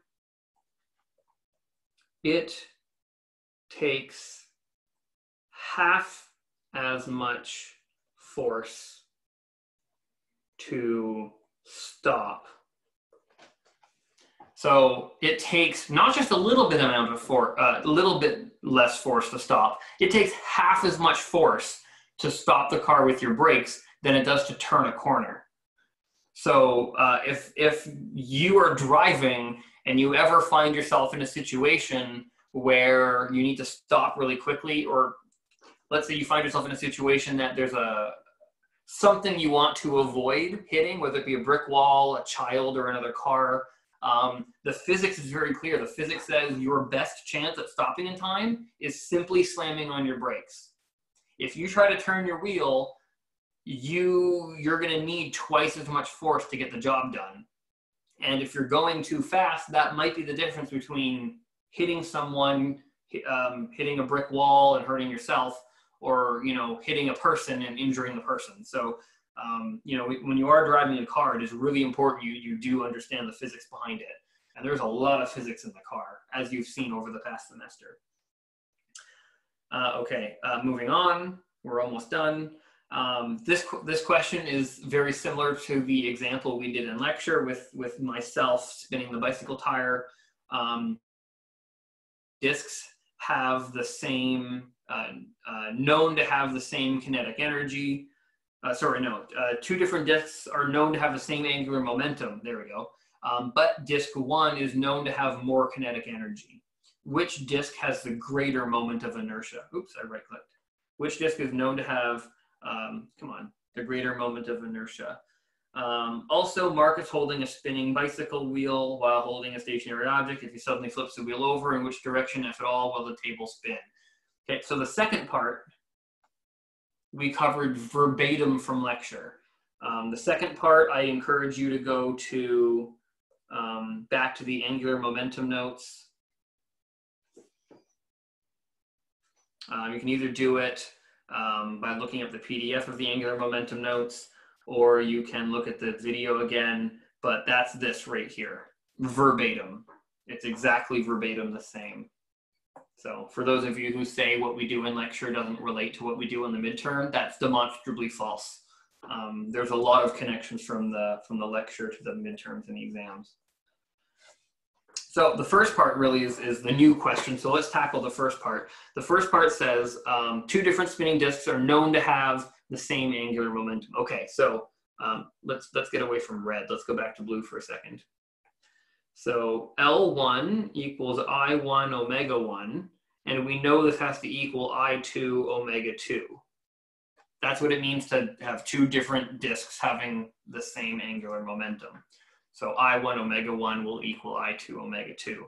But you know disk 1 has a larger kinetic energy. So you know that 1 half I omega, oh sorry, 1 half I1 omega 1 squared is larger than 1 half I2 omega 2 squared. And here we're asking which one has uh, a larger a larger moment of inertia. So um, here, the way we tackle this is we say um, kinetic energy is 1 half I omega 1 times omega 1 instead of saying omega 1 squared. So you can actually say this is going to be 1 half L1 omega 1, which is kind of fun. And um, there you can actually compare um, you can compare things. So you know that the kinetic energy is is um, can be represented by oh um, that doesn't actually because we need i. We need the moment of inertia so hold on, let me back up. We need the moment of inertia in here because that's what we have to compare. So um, let's do this. Let's say, let's say this, one half I, I squared omega squared over I. There we go. So this is the same. You can see this is the same here. I just multiplied numerator and denominator by I. So this is going to be one half I omega both squared over i, which is going to be 1 half L squared over i. There you go. So that's, that's what the EK is equal to. And we know that in both cases, the moments of inert, um, we know in both cases the L values are the same. So the kinetic energy for one is going to be 1 half L squared over I1. And we know the kinetic energy for two is going to be 1 half L squared over I2. And we know EK1 is larger than EK2.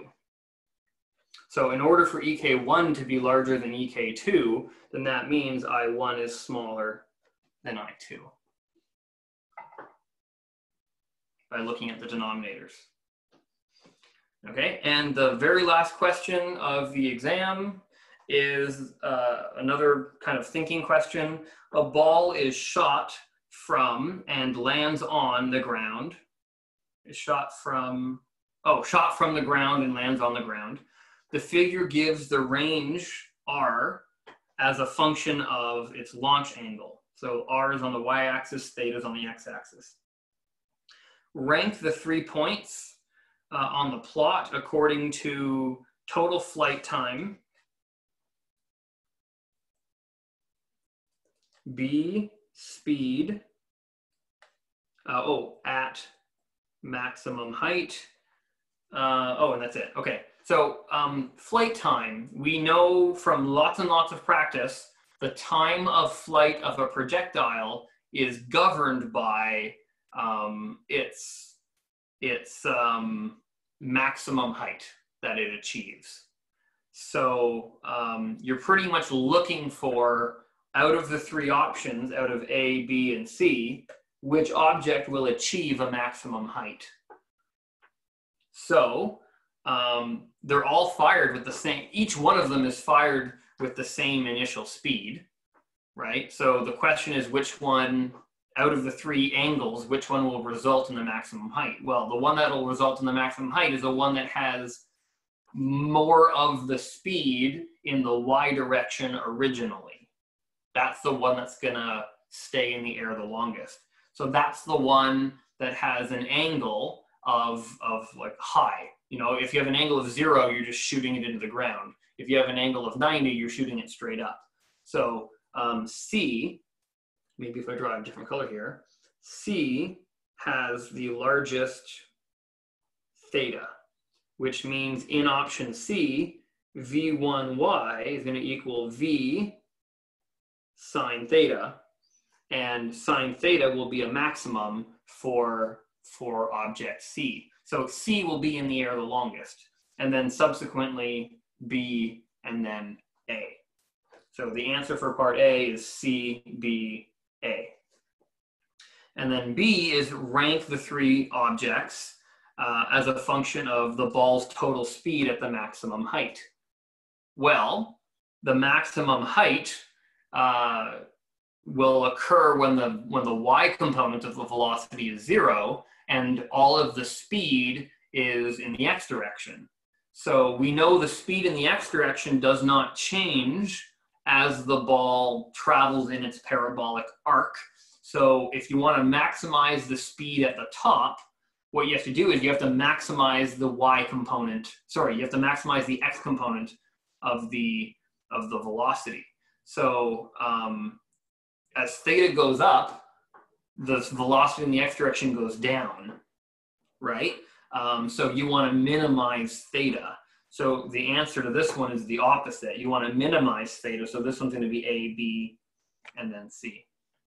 And this one had no no reasoning required. So you could just you could either guess, and if you happen to guess correctly, you could get the right answers, or you could think it through in your head and as long as you got it the, the, the logic correct in your head you could save some time by not having to write it down in a concise coherent way. You could just kind of write the answer and uh, get it that way. But that was only two marks so um, it, it was only two marks because you didn't have to provide a reasoning right? Okay um, that was 2019's exam in under an hour. Um, now keeping in mind we did skip a few questions and there was uh, one, two, three, four, five multiple choice questions we didn't do, but we did it in 50 minutes, right, instead of instead of two hours. So you would have had over double the time to do this test. And the only things we really missed were five multiple choice questions and and uh, actually that was it. Oh, five multiple choice questions and a few free body diagrams. So um, if I remember last year, I think the average on the test was about a, I think it was about a 53 or 55%. Um, so, you know, that's, that's normal. Like I said before, um, large first year classes, there's about 150 of us, so it's a pretty good sample size. Um, the laws of statistics, the law of large numbers say when you have a, a robust random sample size, uh, and it, we're pretty random. I mean, none of you are physics majors really. So um, you know, if, if you get a, if you get 150 physics majors together in a room and you give them a test, yes, the average should be significantly above a, a 50. But if you take a random sampling of a large number of, of, of data points, um, where there some of them might be physics majors, most of them will not be. Um, the average should be around a 50. That's that's literally what that's literally what a normal distribution means is, is you know we're normally distributed around around 50 so for a large first year class for an exam average to be around a 55 um, that makes total sense to me. And it fits with everything else. I mean all other large, like first year calculus um, their test averages and exam averages are are around that as well at least if the course is taught properly computer science, if you take a computer science class, they've got actually they have even worse averages. I think their averages for their tests and their exams are under 50. Um, chemistry, same thing. If you if you've taken chemistry with Chris or Poe, um, their test averages are in and around 50 as well. So um, it's not that I'm aiming for a 50. I never I never make the exam you know hard enough to get a 50. That's not what I do. I, I make the exam in such a way that I'm trying to test curriculum points you know, if you get an A on the exam, that means you walk out of this class um, fully being able to do 80, 85% of the material in your sleep backwards, you know, in your, in your sleep talking Spanish backwards, you know, like that's what getting an A on the exam means. So um, that's what, that's how the exam is made. So um, please keep that in mind. The exam is not meant to be tricky. It's not meant to take you down. It's not meant to only have the smart people succeed. It's it's simply checking curriculum points and using the law of large numbers. If everything is designed properly and as it should be, um, you know, the average performance of the class on a whole should be around 50, 55%. that's just what I mean. If you have a problem with that, then that means you just have a problem with with with numbers. Really, you um, you've got a problem with math on, on on that side. So you know, if the average was significantly below a 50, like a 30, then yeah, there's something else going on. If if the average was significantly above a 50, then that means the test was too easy and we're not properly testing curriculum points. So um, you know, that's just please keep that in mind moving forward. Also with the with the midterm as well. You know, with the with the midterm average of 50, 55, 60, that's that's normal again. Okay, anyway, uh, I'm to open the chat briefly for a few minutes. I know we're a little bit over time. Um, does anyone have any specific questions about either this exam or I guess general? Because this is kind of the last few minutes of the course before the course is over.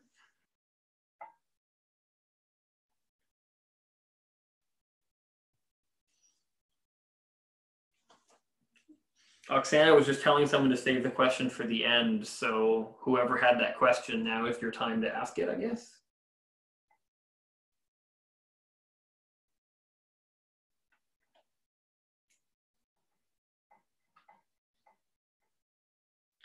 Why wouldn't it be BAC for max height? Uh, well, B, BAC is it, uh, here we go.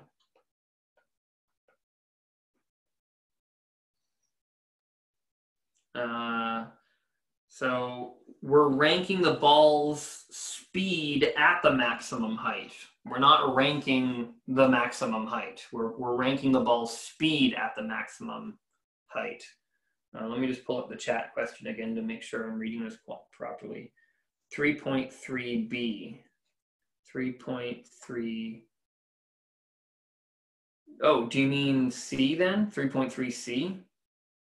Because 3.3b is the angular momentum question.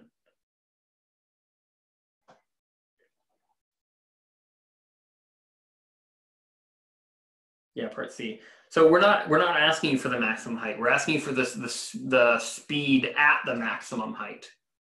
Um, I agree with you that that object B will achieve well, actually no i don't even i don't even agree with you that object b will achieve the maximum height object c will achieve the maximum height because most of its speed is in most of its speed is in the y direction and so i, I mean there, there's no part of that question where the answer is is um, where, where you saying bac i don't know maybe you're getting confused because we're, we're not actually asking for the maximum height part A, we're asking for the maximum height, but part B, we're not.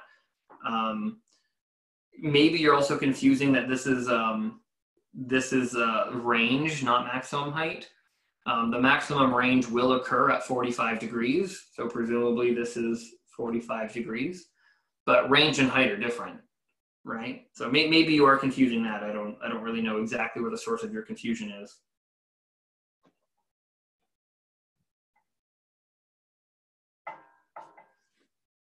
Right, okay, yeah, perfect.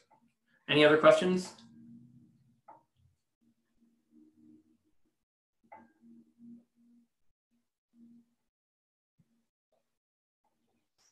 Either about your exam on Friday, um, or what we just talked about uh, with this exam, or the midterm.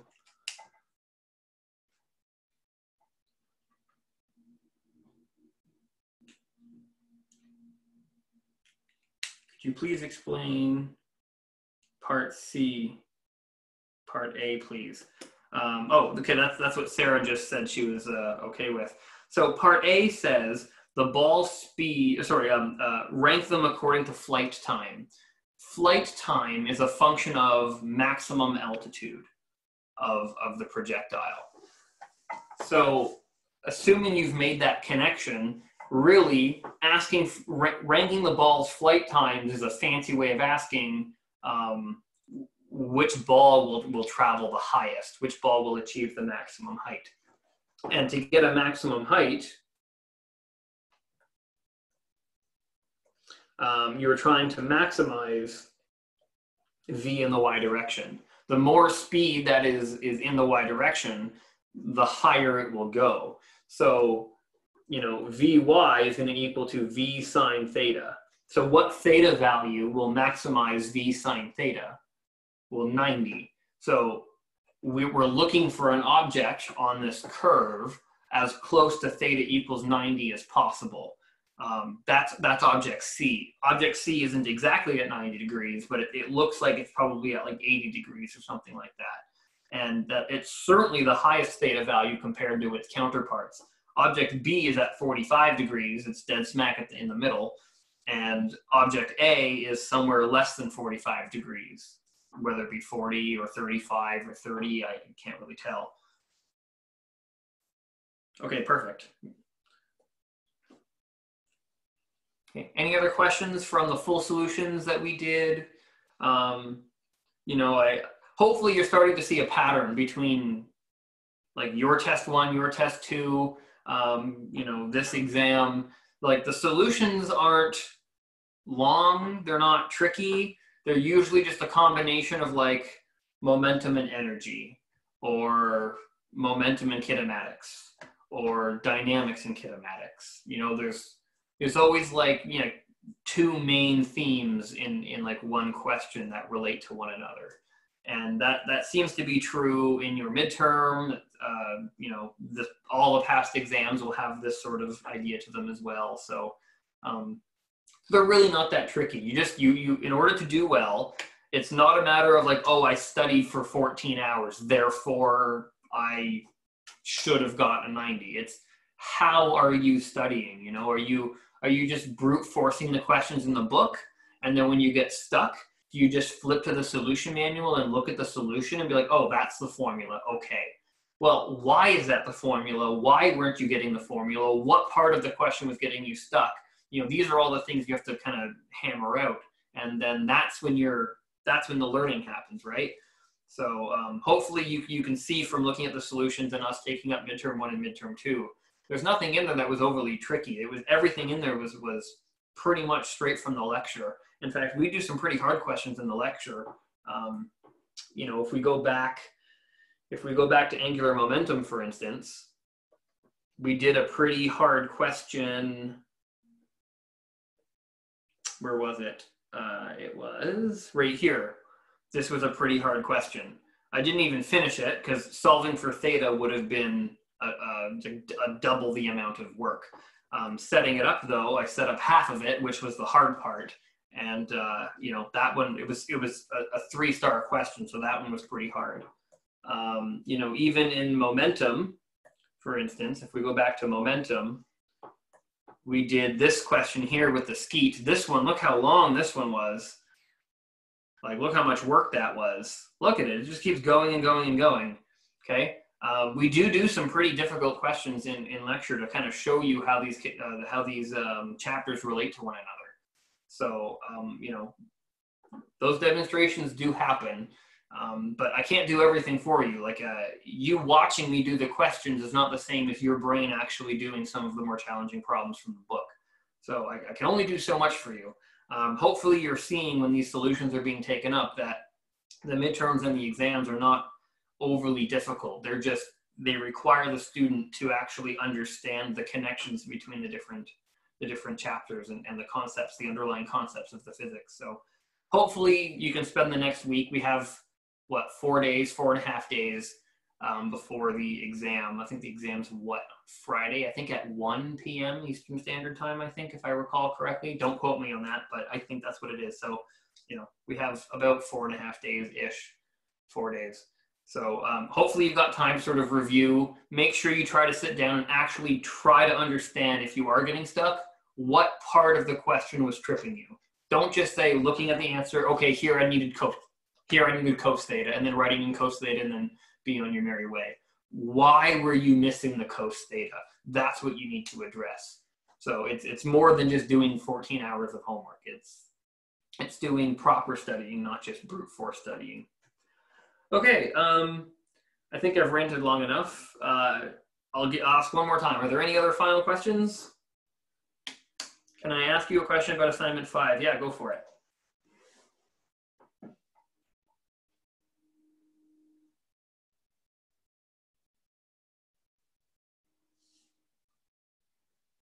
Perfect time for a Jeopardy theme song. Do, do, do. Oh, wow, she already had it copy and pasted probably. Okay. Um, I already posted my concern on Piazza about question one, part D. Uh, it was the question with momentum plus conservation of energy. I made the conservation of energy equation with momentum involved, but I couldn't get the proper amplitude formula. I'm still stuck. Okay, well, uh, can I? Yes, we'll talk offline. You can send me an email and, and we'll chat offline. Um, I, I, don't think during the uh, a recorded group lecture is is quite the right platform for that. Just to clarify, the exam will be from 1 to 3.40 p.m. I'll confirm it's two hours and 40 minutes. Uh, I will encourage everyone to verify the start time on the official U of T, sorry, UTM exam schedule. Um, I only say that because I'm actually told not to say officially when the start time is in case I mess it up. Um, I have to officially tell you to go look at the, the official UTM exam schedule. But I will confirm it's two hours and 40 minutes, which means whenever the list of start time is online, add two hours and 40 minutes. So hopefully that, that answers your question. And yes, it is in Eastern Standard Time. Okay, well, if there's no other pressing questions, um, one last thing, I guess this is sort of the credits, the credits for the class, um, as we're all tearing up from either sadness or joy. I don't know. Um, I just kind of want to show you how much you've accomplished in in these six weeks you know, we started all the way over here with estimation and I guess the introductory material for the class. And look how much we've done. One, two, three, four, five, six, seven uh, review, uh, 8, 9, 10, 11, 12, 13, 14, 15 chapters. You've done 15 chapters in six weeks. That is incredible for anybody. Yes, we've all signed up for an accelerated summer class. That's true. But that doesn't make the accomplishment any less impressive. 15 chapters in six weeks. That's incredible. Even if you take this class in September, it's 15 chapters in 12 weeks. That's still more than one chapter a week in September. That's hard enough to do. In the summer, we're doing close to three chapters a week. That is crazy. Crazy. So um, yes, it's been hard, but it's hard because of the time frame. And I've been trying my best throughout the semester to give you as much help and support as I can without just making the class ridiculously easy, which I, I hope you can appreciate we can't just do, right? It's, it's the same credit you would get in September. So um, please give yourselves a big pat on the back. I mean, looking at this this list of chapters that we've done in these in these six weeks is just absolutely astonishing. So um, just give yourselves a big, huge round of applause for that one. And anyone who's made it to the end just deserves to at least be recognized for being an absolute trooper. So, um, you know, congratulations on that front. And I think I've echoed that um, in the in the announcement on Sunday. So congratulations, everyone. We've we've done a huge amount of work, and you should be very proud of of everything that we've covered in the six weeks. Um, if there's nothing else, I think that's a, a good note to end on. So I will sign off for now. That's our last lecture. And good luck with your study break. If you have other courses, good luck with those too for your exams. And um, Piazza, email me, whatever you need to do.